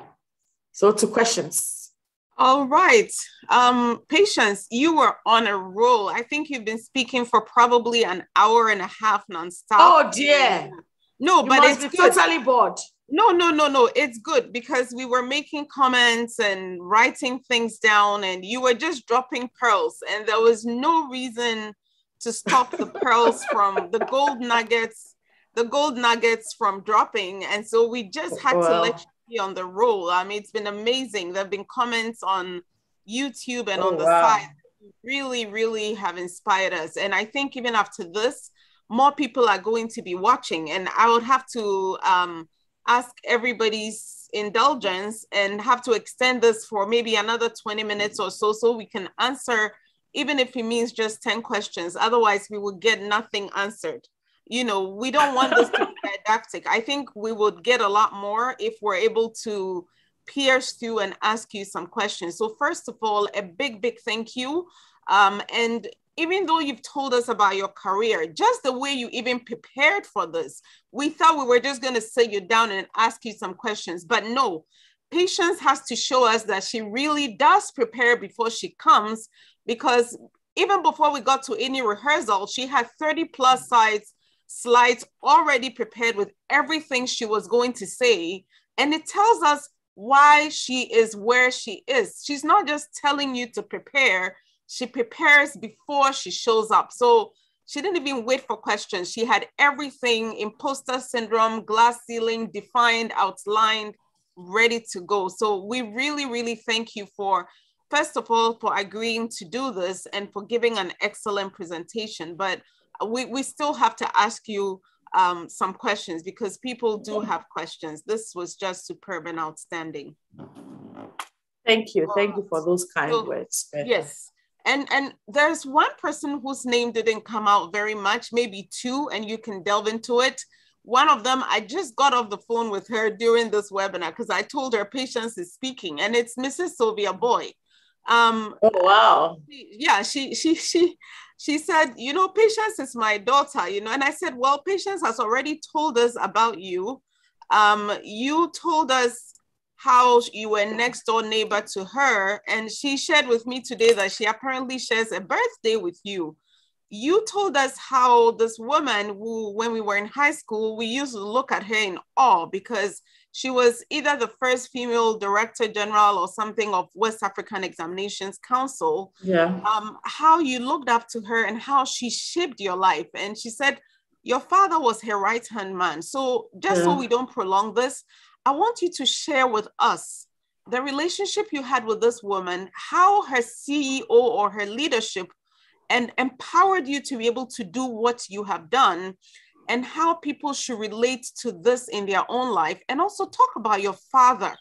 How before the age of i mean form one would be like 9 10 11 you had worked so hard already and you were tired. The role that your father played in your life and how people should use their parenting skills or if they are not parents and they're still young how they should listen to their parents to get to where they are so in a nutshell my question is about mrs Boye and your Mm. father Wonderful. Thank you for that question. So my father was amazing, and this I found out, you know, later on, and I just wish you were, you were alive for me to really show my, my my gratitude. But he knew all of us. He knew what our potentials were, and he worked with us, you know, to um, bring out the best in each of us. So we, we are quite different. You know, my, my my sister, you know, my younger sister is very creative. So she's not as intellectual, but very creative. She, of course, he made sure he pushed all of us through to university, but she does, you know, those events, decor, those kinds of things. She's very good at it. I'm very like, you know, academically able, and he knew it. So he pushed, and that is why when I wasn't given the opportunity, you know, to uh, do additional mathematics in Wesley Girls, he was like, no, you are a candidate for a one in add math and you will do it. And I did it and I got a one. So he believed in me a lot. And a lot of people attribute, especially family people attribute where I am to his confidence in me. And he pushed me to do a lot. I thought he pushed me too much because he really just wanted me to get the, you know, the highest grade. So he really, really pushed me to, to work very hard, you know, and throughout as well, my, my, my um, educational um, life, you know, my, my life in school and all that, he was very instrumental in getting me to give whatever I did, you know, my best and to excel in it, you know. So really, without my father's, he was actually my, my champion. And when they say, well, before he for she came, if you remember, one of the UN uh, International Women's Day, the theme was he for she, you know. Before he for she became official, my dad was doing he for she, you know, a man promoting women, you know, to, to, to be the best. Because we're all girls, by the way. He had only girls, you know, so he just wanted to make his girls, he wanted to, to make his girls to make him proud. And he did, you know, great in bringing the best out of me. Then he, he, he, um, he was, and one thing I noticed about him, he used to really respect Mrs. Boye. And that was something that I learned about how you relate with your boss. Because as she said, like she was the head and he was uh, um, her number number two because he was the head of test administration, you know, at the time, you know. But he respected her so much. And I didn't hear him say one negative word in the house about her when, you know, she wasn't around. And I'm like, I mean, it's not like she will hear when you say something, but no, everything was respectful. I mean, to the extent that, by the way, she was the one who advised him to, to, to let me do accounting because she was like, oh yeah, accountants never lack jobs. Let her do accounting. She doesn't know what to do. Let her do accounting. And let her do the professional accountancy, you know, certification so that she can be a qualified and professional somebody, you know. And he took the advice. Can you imagine how many people listen to their bosses? He listened. Was like, oh, he came and told, no, Mrs. Boye says that so and so. And, and I also took it because I'm like, hey, this somebody who respects, Uh, you know, his boss. And who am I to say no when Mrs. Boye says you should do, you know, accountant. So I also did it just like that. And it's worked for me, you know. So really a great example to learn from. And being next door to me, and I, I just revered her and realized that she could combine everything so in addition to being the boss and being really feared at work, because those who know her know she can be firm and tough and sometimes scare people and all that, she also had the soft relationships. She has so many friends. And the old girls, when we talk about old girls network, they, their year group really were close, you know, because most of the time she's having some party and half of the people were old girls. And they were just, you know, ah, Yvette, so Yvette, Yvette is the other. You remember I said uh, there was another uh, colleague who was not allowed to do add math, and we both of us believe we're the two people who believe that we deserve to be in A1 and we're not given the opportunity. That was Yvette. She's put it. I didn't want to mention her name because I didn't know whether she'd want me to, but that was Yvette. And look at her. She's one of the, the greatest, you know, dermatologists we've had. I don't know of any. I mean, from Wesley Girls, tell me, but Yvette is just awesome, you know thank God that she got the opportunity. Otherwise, I mean, what would have happened? So, really, I'm not blaming anyone, but sometimes our educational system is unforgiving. And that was just an aside. I saw Yvette's comment and I decided to just, you know, but back to Mrs. Boye, um, subconsciously, apparently, she was inspiring me to aim for the top job, you know, because I saw how well she combined it and um, how, you know, she still kept relationships going with her schoolmates and, and how she was still a mother and, and a wife and all that. And I said, Oh, I really want to be like her when I grow up. And subconsciously, I guess it all worked uh, in, in my favor. So that's Mrs. Boye. I mean, I, I do really respect her and I'm so, so grateful to her for her input in my life. All right. Well, wonderful, wonderful. Yvette, thank you for joining and chipping in and also dropping pearls. And to the role of fathers, um, Professor Ifa Hesse, who is going to be giving our final prayer, she also talks about how, as a young person, her father strongly believed in the role that women could play and encouraged them to study hard. And even though back then, women were not being encouraged to take education seriously, her father played a big role. So um, I think that that is really um, key. So um, there are just a few questions here. There was one that asked you to talk about your challenges in the chat room, and there are four questions in the Q&A as well. So I know you've mentioned a few challenges, but could you be um, specific? This person um, just wanted to know some of the toughest challenges you experience. For example, you just said the finance job is hard. What do you mean mm. hard? Is it lots of hard work? Um, is it yeah, a lot of so, lots of numbers to crunch or? Yeah. So so for me, my biggest challenge has been how, because I've said where I am came at great personal sacrifice, you know, and so it's it's the price you pay for getting ahead and combining you know, the hard work that you necessarily have to, you know, um, give or, or, or, or the, the, the lots of hours that you have to expend, you know, to deliver on or exceed expectations, you know. So I've had to work long hours. I've had to spend a lot of time on projects. I have to spend a lot of time getting um, systems working, numbers churned, etc. And so it takes away from the time that you have with your family and friends, really, you know. And a lot of the times in the final, actually, the finance job is like a right man to the um, CEO. Because if you have a very good finance person, you know, you can go to, well, not go to sleep, but when it comes to the numbers and, you know, the presentations to the shareholders, etc., you can rest assured that you'll be taken care of. So you are the one in the background doing the work for the CEO to shine. You know, it's hard work.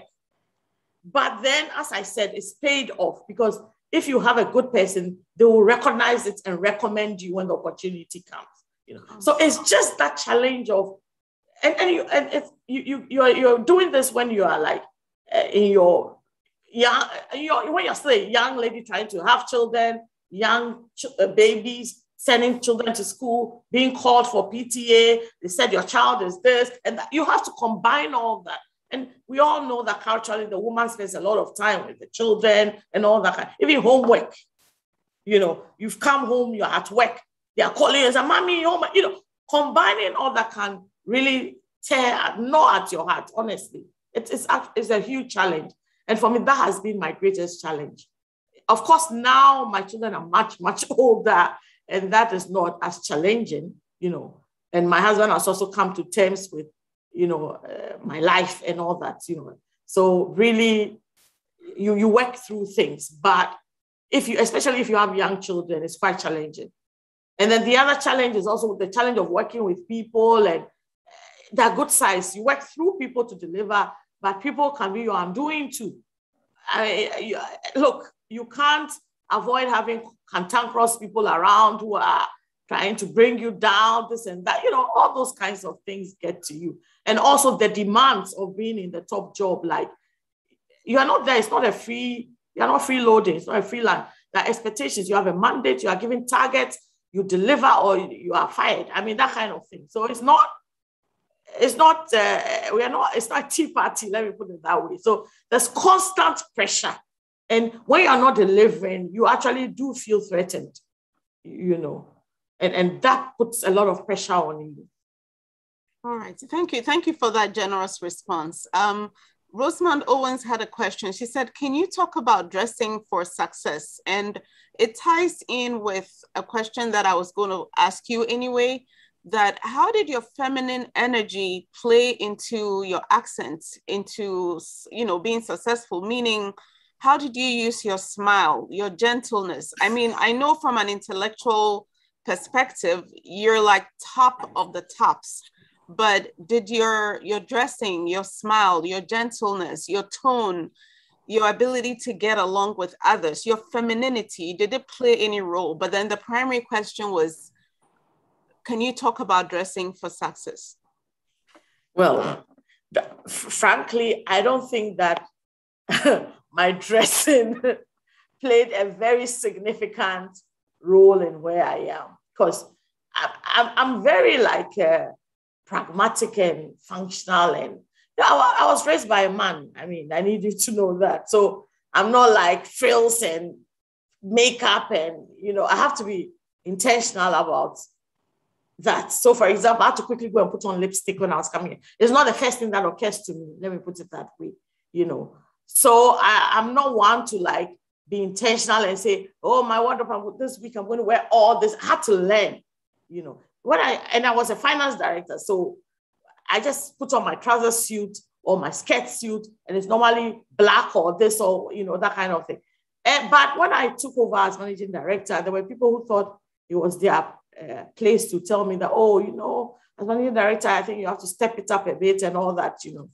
So, well, I try to do a few, uh, do a little more, you know, in terms of uh, looking a lot sharper, if you like, you know, and, and, um, playing the the parts. And, and I do, but most of the time I do dress, you know, uh, to make myself happy, not to make anyone happy.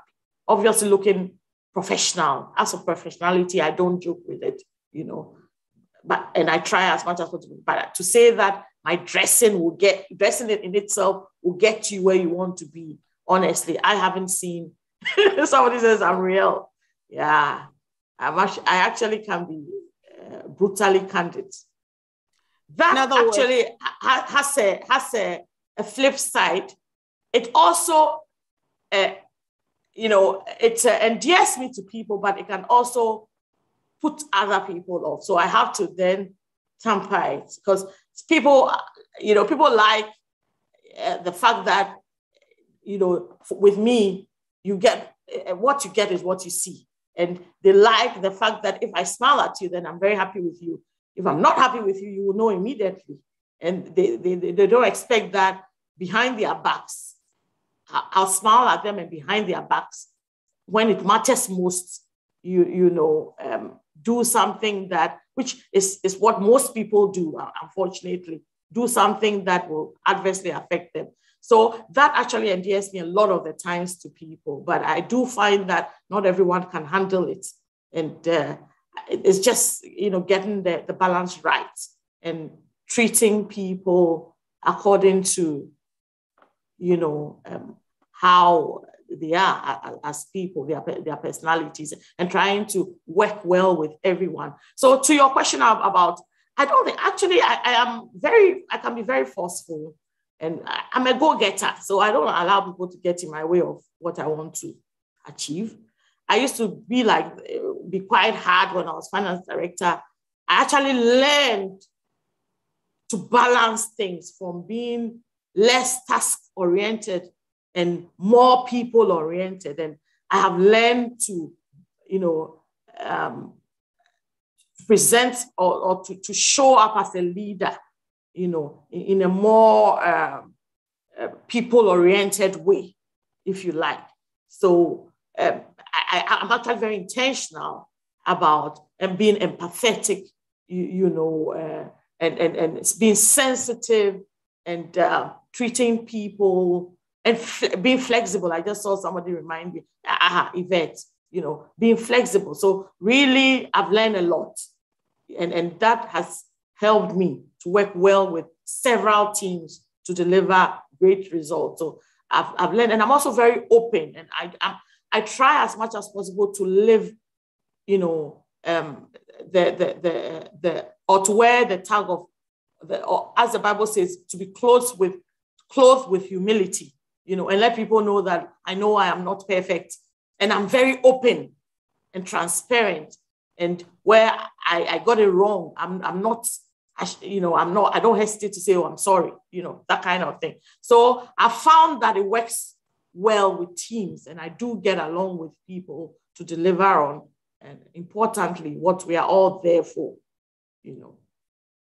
So it helps to be authentic in summary. All right. Thank you. Did I answer much. that? Yes, you did. You did very well. Um, there's a question that comes in multiple parts. I'll try and summarize it. It's from Niyama. He said, We know skin color, especially for those outside of Ghana, and gender are two great barriers. Could you please tell us if you've experienced these in your personal professional growth? And if you have, how did you go about past these obstacles? Two, I come across people who use this as an excuse for being down the ladder when in actual fact it could be their personal performance. How do we personally identify whether skin color or gender as against performance is playing a role here. And um, these barriers are known to cause mental and psychological issues. What would be the best way to deal with these personal effects um, on the individual? Hmm. I, th- I think, thank you. Great question. I think I touched on it briefly, but my, and I'm going to talk about my reality because there people have had different experiences, and I won't downplay anyone's, you know, or minimize anyone's concern and downplay.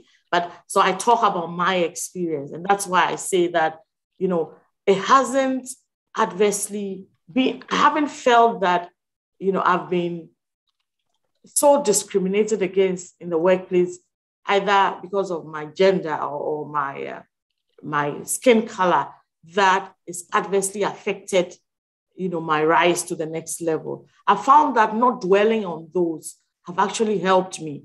So being in an environment where I focused on delivery, you know, has helped and not always thinking of what, how I'm a woman and all that, you know, has actually helped me because when I'm considered, I feel that people talk about my work rather than being a girl or a woman, you know. And I can hold my own. I mean, in any group, for a long time, in any group, it can be all men.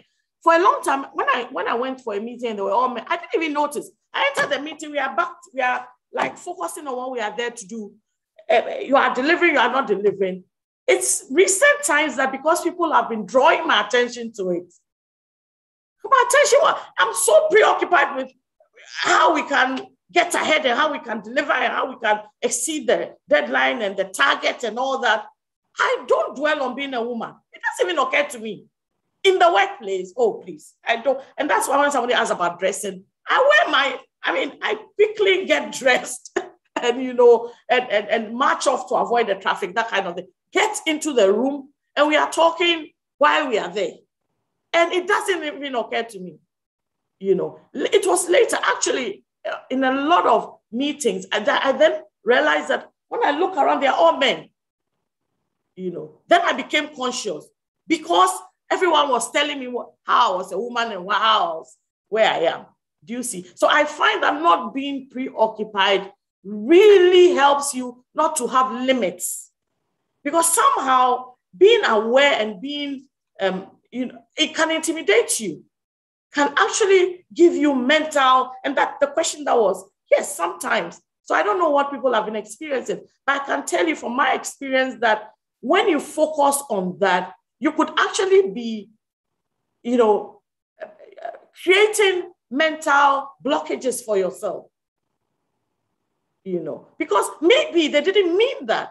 And there have been several times where I work in a multinational, there have been several other people act in a manner that you are like, are they acting like that because of my skin or what? But I don't even dwell on it. I don't dwell on it. And we work in, a, in an environment where, you know, results are compared across. I mean, with my skin, I deliver top results. So what are you talking about? You, you know, so I don't allow myself to be bogged down and to be intimidated with that kind of thing. And I feel that it's helped me. Yeah, very, very true. Um, patience. I, I share I share your sentiments because for me as well, as a professional woman who's worked most of the most of her professional life outside of Ghana, it's just recently that I'm beginning to think about race and even gender because I work in an environment where you have grown men in their 60s asking my opinion to maybe give a consultation about something. And I deliver it without thinking, oh, I'm dealing with a man or a woman, or I'm in a room and it's all men we're here because you want my mind. And so I'm sharing my mind, I'm sharing my thoughts. And a lot of the time, I forget that, okay, I'm dealing with Caucasian men because you just want my opinion and I'm rendering it, period.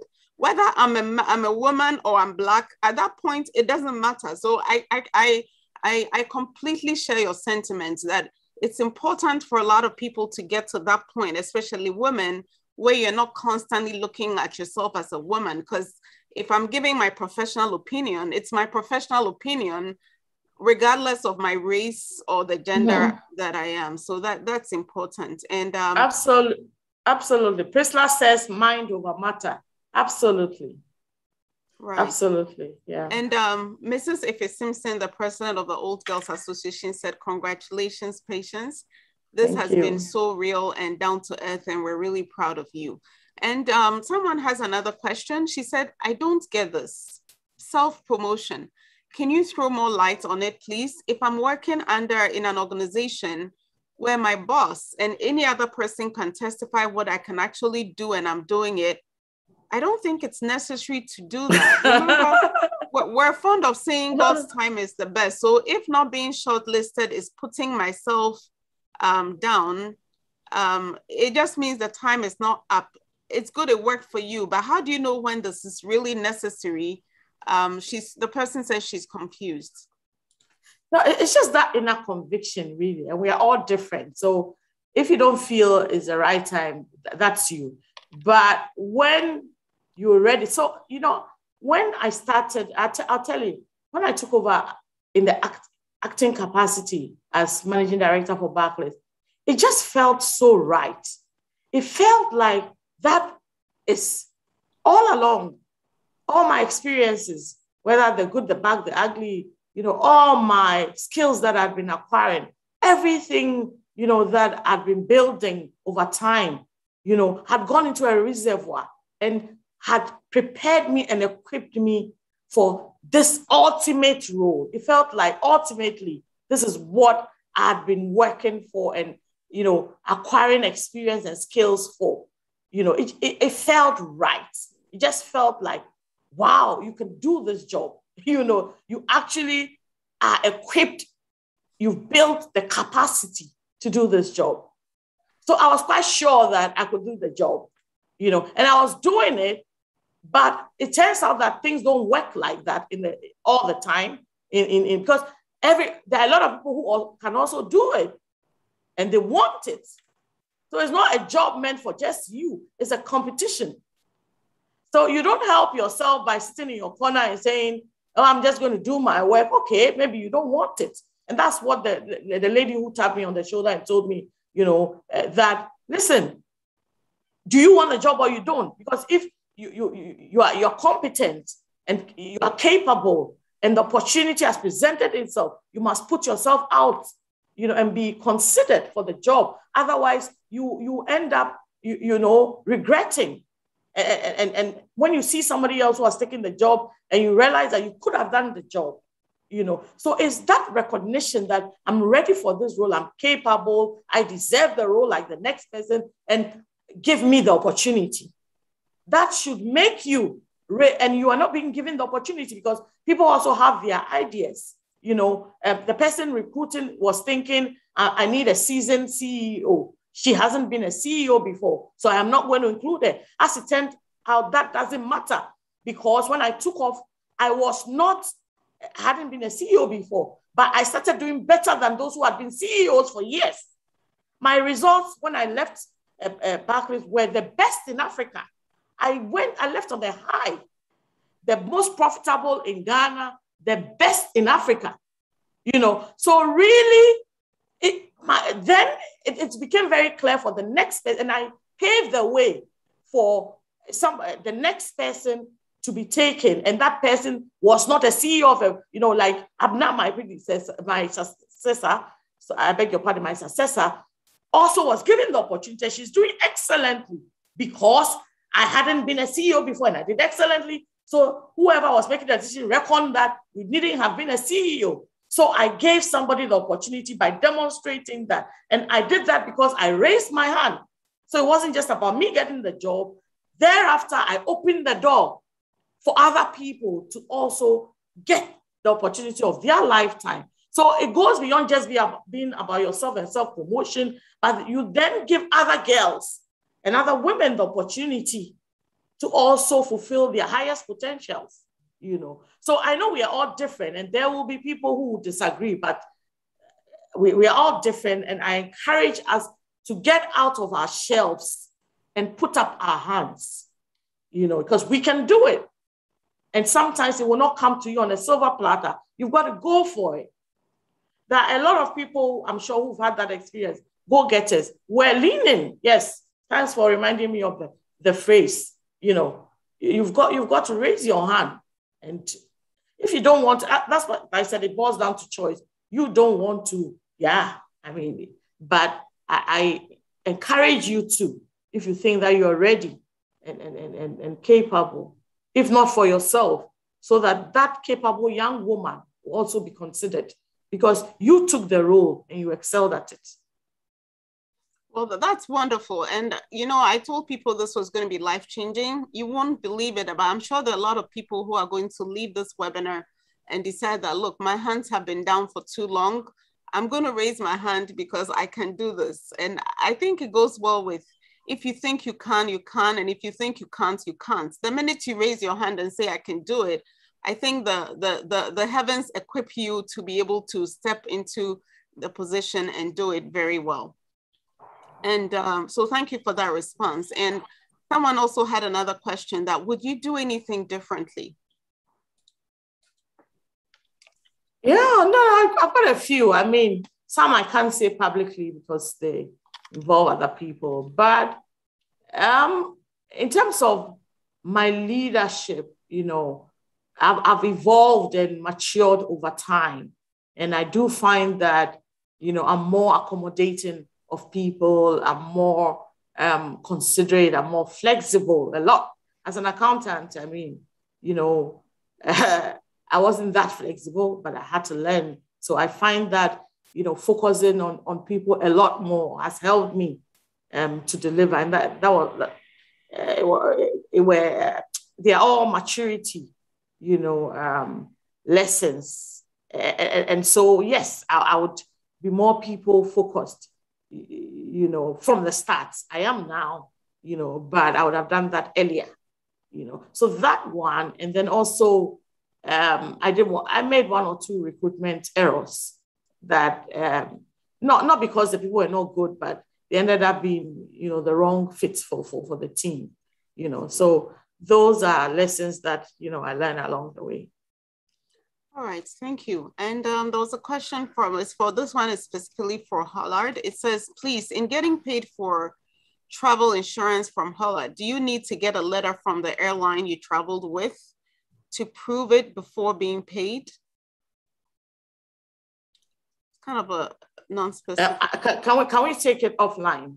Oh, sure, sure. Yeah, because um, I, I wouldn't want to say, I, I directly don't work on travel insurance and I don't want to say something that you know, uh, I'm not totally sure. So, okay, all right. So let's go on to the next question. Says, how do you manage organizational politics? So, so for me, when people talk about politics, and a lot of people paint it as a bad word, and everyone thinks, oh, I'm not political. I find that a bit funny because you find oftentimes those who say I'm not political are really in the thick of things. Maybe you don't want to do, you don't want to call what you're doing politics. The thing about it is that there, are lots of moving parts and relationships to manage everywhere, everywhere, whether it's home, whether it's within your larger family or it's in organizations or wherever. So you've got to play to win. It's about managing, you know, um, the, the pieces well, the chess pieces well to win, you know. And it's not about people say politics and they think, oh, it's, it's undermining. No, no, no, no, no. It's about, first of all, wherever you are, there are people who wield power. It can either be the, the, the, the formal power or informally behind the scenes. You, you don't blind, a lot of us are blind wherever we are. We are not alive to the dynamics around us, the power dynamics and stuff like that. If you really want to play to win in organizations, you cannot be naive about that. You've got to recognize who the powers be, that be are, you know, and how you manage the relationships with them, you know. And I'm not talking about instead of working, go and bootlick and all that. No. We all know that that doesn't, I mean, getting ahead that way is not sustainable. You cannot stay in any role you know, doing that for a long time.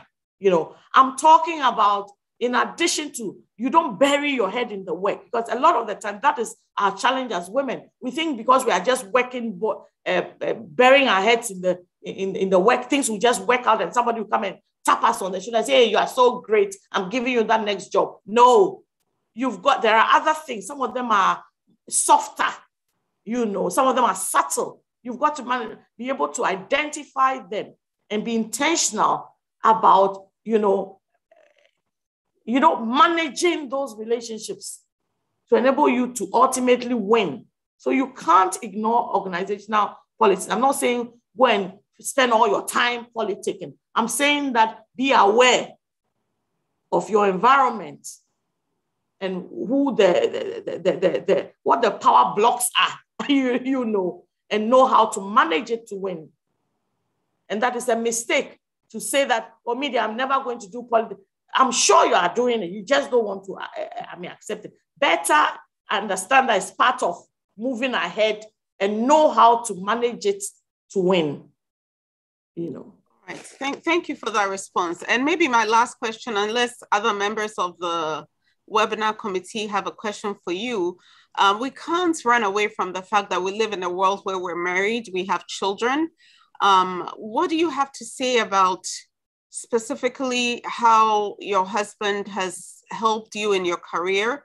And outside of him, just any general comments about bearing the responsibilities of being a married woman, which in our context, we can run away from cooking, cleaning, and all that, and how that impacts people's careers.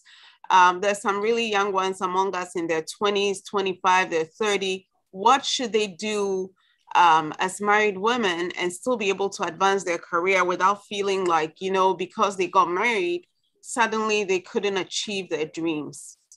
Yeah, I see somebody, was it Irabna say, get help. That's a very important advice. You can, you're not a one man thousand, you can't do everything. So, very important to have the right support systems in place. And I did have good support. I had, I, I lost my mother when I was very young. So, my mother was not around when I was having my children, but my mother in law stepped in and she was great at this, providing support. I also had you know, supports with uh, domestic help and stuff like that. But most importantly, my husband was really supportive. And you've got to work at it. And I say to young people that one of them, especially young ladies, is that one of the, you know, uh, decisions that will make or break you is who you choose as your marriage partner. You must be intentional about choosing somebody who will be, who is your friend, who you will grow together with and progress together with. And you will see that early on. So, for example, you're all in school, you're all in the university, or you're all in medical school, you're all studying for a long time. You see how he reacts when you are doing well. You see whether he promotes you. Go and learn. Oh, there's this test. Oh, you know, you see his how he encourages you. Because when you get married, you don't know what you become. When I was when I got married, I didn't know I'll be managing director of anything. That wasn't even on my mind. I didn't say, oh, yeah, this is my plan. This is my 20 year plan. By that time, I'll be this. I didn't have such a long view. I'm visionary, but I didn't have a 20 year view. Do you understand? So I wouldn't have known where I would be. So I wouldn't have, you know, said that, yeah, I'm going to marry somebody who support me to be. No, I just married a friend, somebody I could have ongoing conversations with. So even through the difficulties, and we did, we did have difficulty. I, I told you that, I mean, I had to leave South Africa and come that was a difficult. When I was going to South Africa, my husband didn't want to go because he's also a, a professional. He also has his practice to, you know, but we, we came to a compromise. You understand? So it's that ongoing conversation and you know the awareness that both of us have potential and we need to support each other through. And when you marry a friend, then you can work at it together to the end, you know. So it's actually important. And also how you bring people along as you're progressing is also important. You can't be high and mighty all over the place. You recognize that when you come to the home setting, when you come to my home, you don't, there's no MD there. Oh. Actually, my family and my in-laws, they call me MD with respect because they actually love the fact that they have a daughter and an in-law that is so high profile and high place. And eh, my family things have, and my in-laws things have, think, sorry, think these Wesley girls, you can't be buying here. Think I've, you know, think I've brought honor to them. Do, do, do you understand? So it's more like they encourage me all the time to do more and to give it my best shot. You know, now that they see that it actually brings you honor when you have somebody in this position. So it's about knowing how to recognizing some of the nuances, you know, uh, of, of uh, this kind of uh, situation and knowing how to work at it and, and, and using wisdom. Wisdom, wisdom is so important, you know, in handling in handling relationships effectively, using wisdom to bring the best out of every relationship, especially the important relationships in your life. Wisdom, wisdom. I like that. Somebody else had a question. We'll try and be ending. So it says, please, why did you leave Barclays since it's a big job and you were doing really well? Secondly, you must have faced serious ethical dilemmas. How did you go about them? Mm, okay. So why I left um, Barclays, I think I've answered a number of times, but having done the role as managing director for five years and having spent 10 years in Barclays, I was beginning to feel that my next move was close. And um, coupled with the fact that I had a number of offers, suddenly I had a number of offers because at that time I'd made my mark in the market, you know, and headhunters were reaching out to me. But there was one that was persistent. I wasn't, as you say, you know, actually I've left my money there, you know, because I had my long-term incentive that was vesting in 2020, you know, and, and it was a, a way of keeping me there, you know, by giving me a long term, something to look forward to. So it was a trade-off. I, I actually traded off, you know, something significant.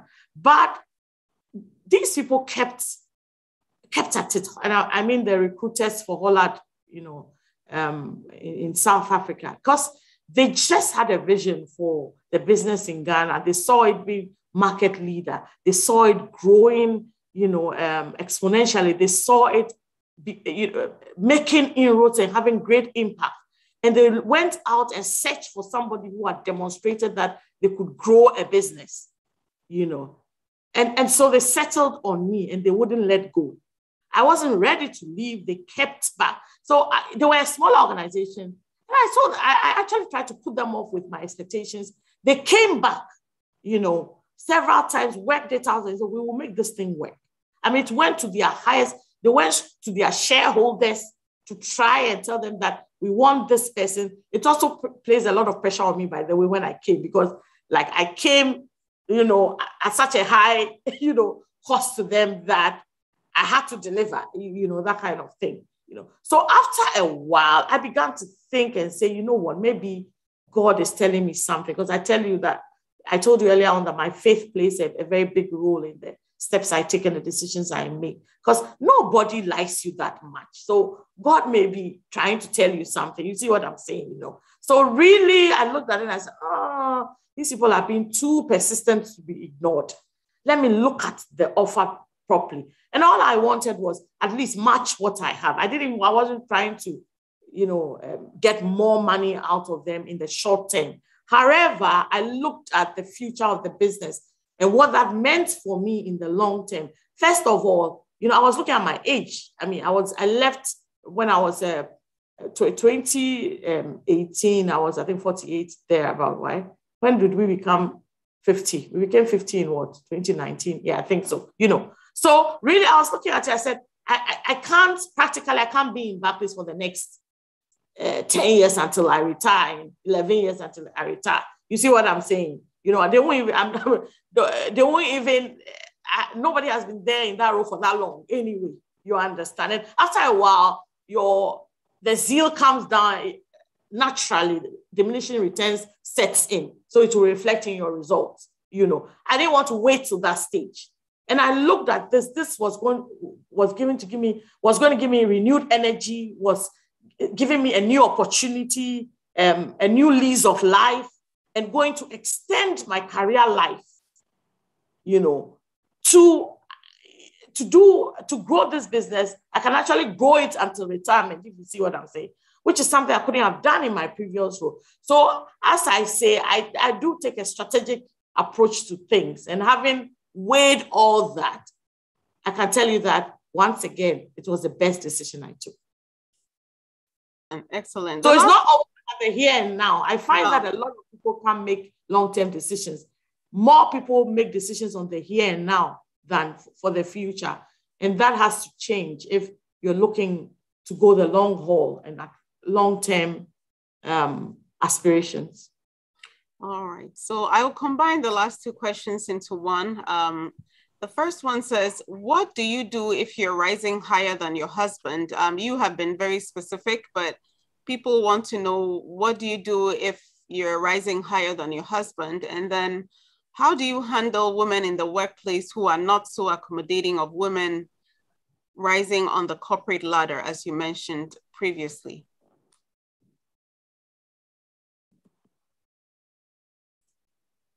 Frankly, that's why I said that. Sorry. I, I sorry. Yeah, frankly, that's why I, I said that calls for a lot of wisdom, you know, because the fact of the matter is that as women, we wear many hats. I'm not a boss at home. I recognize that I'm wearing a different hat when I come home. And I do like the home environment. I like the companionship that being married gives me, you know, and it, it becomes even more important when you're growing older when all the my, my children are all in, my, my, in school now so we are back to the almost back to the empty nest you know period where we look forward to seeing our children because now they are hardly with us. So if you haven't developed that relationship if you haven't spent time nurturing that and becoming friends with your husband you realize that you don't know what to do you know when you are together you understand? So for me, it's too important a relationship not to cultivate and spend time on. And I don't, as I say, when you come to my house and I invite you, you come to my house, you won't, you won't know there's an MD here. Actually, right now, I, I prepare dinner myself. I don't do that all the time, by the way. I mean, this is COVID. We've had a lot of time at home. So I went back to some of the things that work for a nice home environment, like cooking myself and doing stuff like that, you know. But where I can get help, like I have live out help, cleaners that come in and clean and do stuff like that. I do take advantage of them. And any day I will. But I work on the important relationships in my life. And I do spend time working on my relationship with my husband. It's not always easy. And in the past, as we grew and we're all like, you know, getting, trying to get ahead and all that, it's taking a lot of wisdom. And sometimes you have to come back and have conversations, you know. But then the, the good thing is that we both want this to work. And so we've all worked at it, you know, and that has helped us to keep the relationship going. But I won't say that because you should stop getting ahead because your husband is not getting ahead. No. Why hold back your ambitions and your potential? And if he's actually your friend, he wouldn't want you to. Because where I am and what I've achieved is working for everyone's benefit. Anyone would want that. Who wouldn't want? My, my husband is very proud to have a, a, wife that is a managing director of something. He proudly introduces me. Oh, my wife is so and so. Oh, my wife is so and so. Who wouldn't want that? And as I say, my in-laws like me. I mean, for for you know what I've achieved, and they are very proud to say that. Oh yeah, that's our sister-in-law. That's our daughter-in-law. You know. So in reality, people want to associate with success how you act. And you must act wisely, you know, um, very aware of some of the pitfalls and the snares that being successful can pose for your relationships, you know. So being very careful, you know, to be humble, remain humble at all times and be conscious of, of cultivating the important relationships in your life intentionally. But you can't do anything about being a I mean, if you married a high flying woman, for me, it's a blessing, really. That, Obviously, true. if they threw their weight around and made you feel small, that's that is a different thing. And that's why I'm saying wisdom, wisdom. So wisdom is the principal thing, and you yeah. mentioned humility, which is key because if if you're growing up and you add pride to it, um, you will fall very, very quickly. So I think humility is a key thing. Um, before we give, um, allow Miss um, Mrs. Amma Engman to give her vote of thanks, you've mentioned your faith in God several times. So I want that to be your concluding remarks. As you talk about, I know the Bible talks about they that wait upon the Lord shall renew their hmm. strength, they'll mount up with wings like eagles. Given how much tenacity, grit, etc., that you've talked about. Just talk about how your faith has practically helped you to get to where you you you you've attained? So I'm one of those who believes that being a Christian and a strong Christian at that, you know, it's a lifestyle. I don't think that Christianity and religion should just be relegated to Sundays and what you do in private and in church. I believe that you live your Christian life out there for other people to be inspired to want to follow what has made you who you are, you know. And indeed, the first time that the disciples were called Christians was in Antioch, as the Bible, you know, makes us to understand. And it's because the other people observing them noticed that these people were different. You know, they were doing things that made them stand out. And that's why they were called Christians in the first place. So I don't believe that you, you hide your religion. And especially in the environment that I've worked in a lot of the times, multinationals, it, they view religion as something that is private and you mustn't speak about it. But I disagree. I beg to disagree because for me, you know, the, what the Bible says about letting your light so shine, so, uh, you know, wherever you go, so that men will see your good works and glorify your Father in heaven, has helped me to accomplish what I've accomplished, not just for myself, but for all the organizations that I've worked with. Because the hard work I put, my you know, fixation on excellent, etc., is because I want to shine for the glory of God. I realize that I'm an ambassador, a representative, you know, wherever I am, and therefore I must be a great example. So I incorporate faith in my work shamelessly.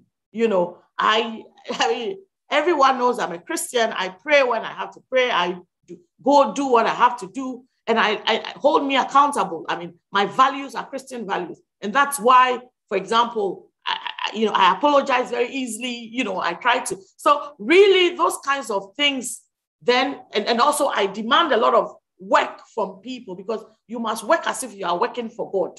That's what I believe in, you, you, you know. So those things have helped me actually. Living the Christian life has helped me to do well in, in the workplace because I believe that you can actually fulfill your highest potential when you bring all of yourself to work.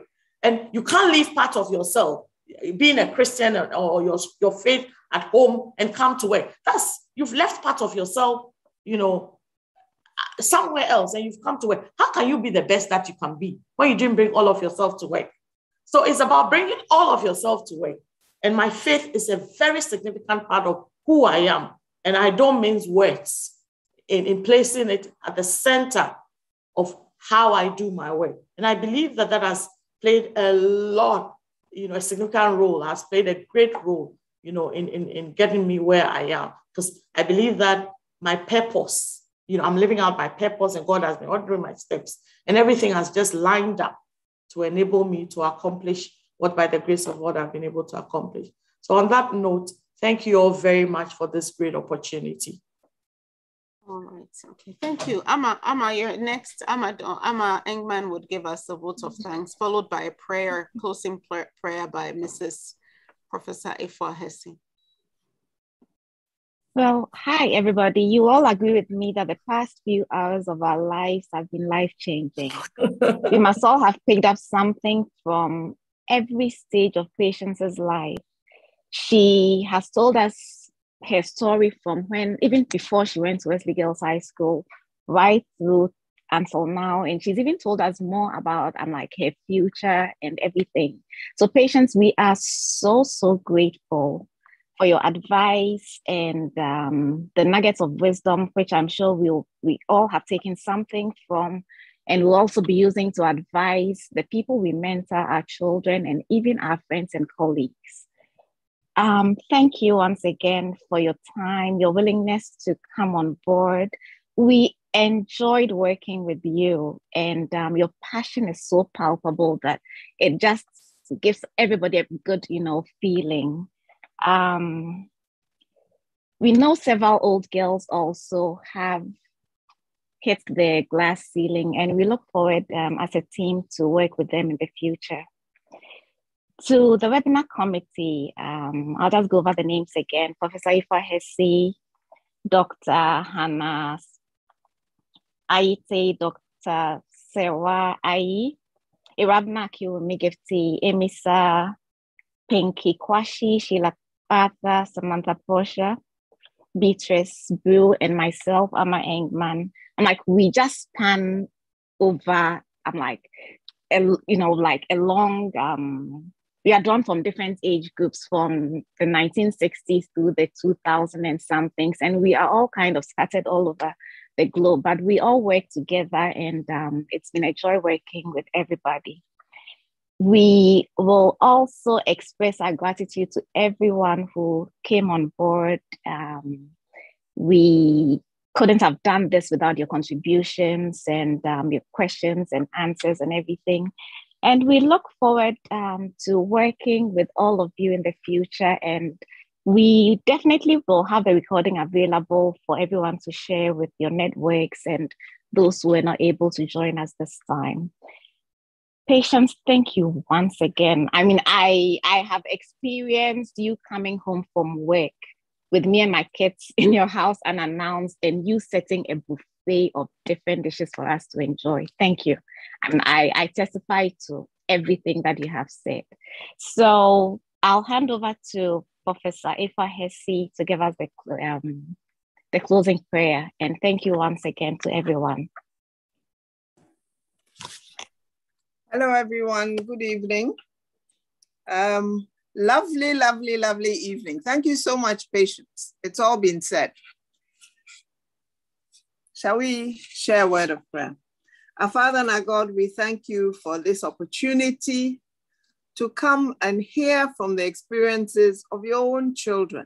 Lord, how you have guided them and guarded them, their steps and their path Father, the lessons that we have learned from this, we pray that we'll be able to apply them in our lives, knowing that you have said each and every one is precious in your sight, and you have a plan and a purpose for everyone. We pray for everybody who has listened to this, that something will reflect and something will touch them, and a difference will be made in their lives, so that all together we will contribute to make this country what it needs to be, Lord. Each of us playing our part.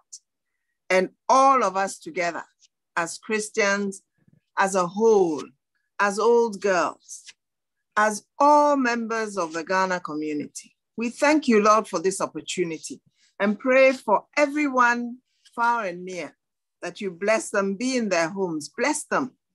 Lord, protect them and continue to guide them. This we ask in Jesus' name with thanksgiving. Amen. Amen.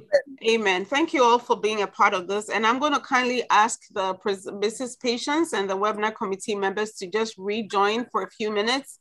We're going to end it so that participants can um, sign off, but we'll just rejoin and regroup very, very briefly. Thank you so much.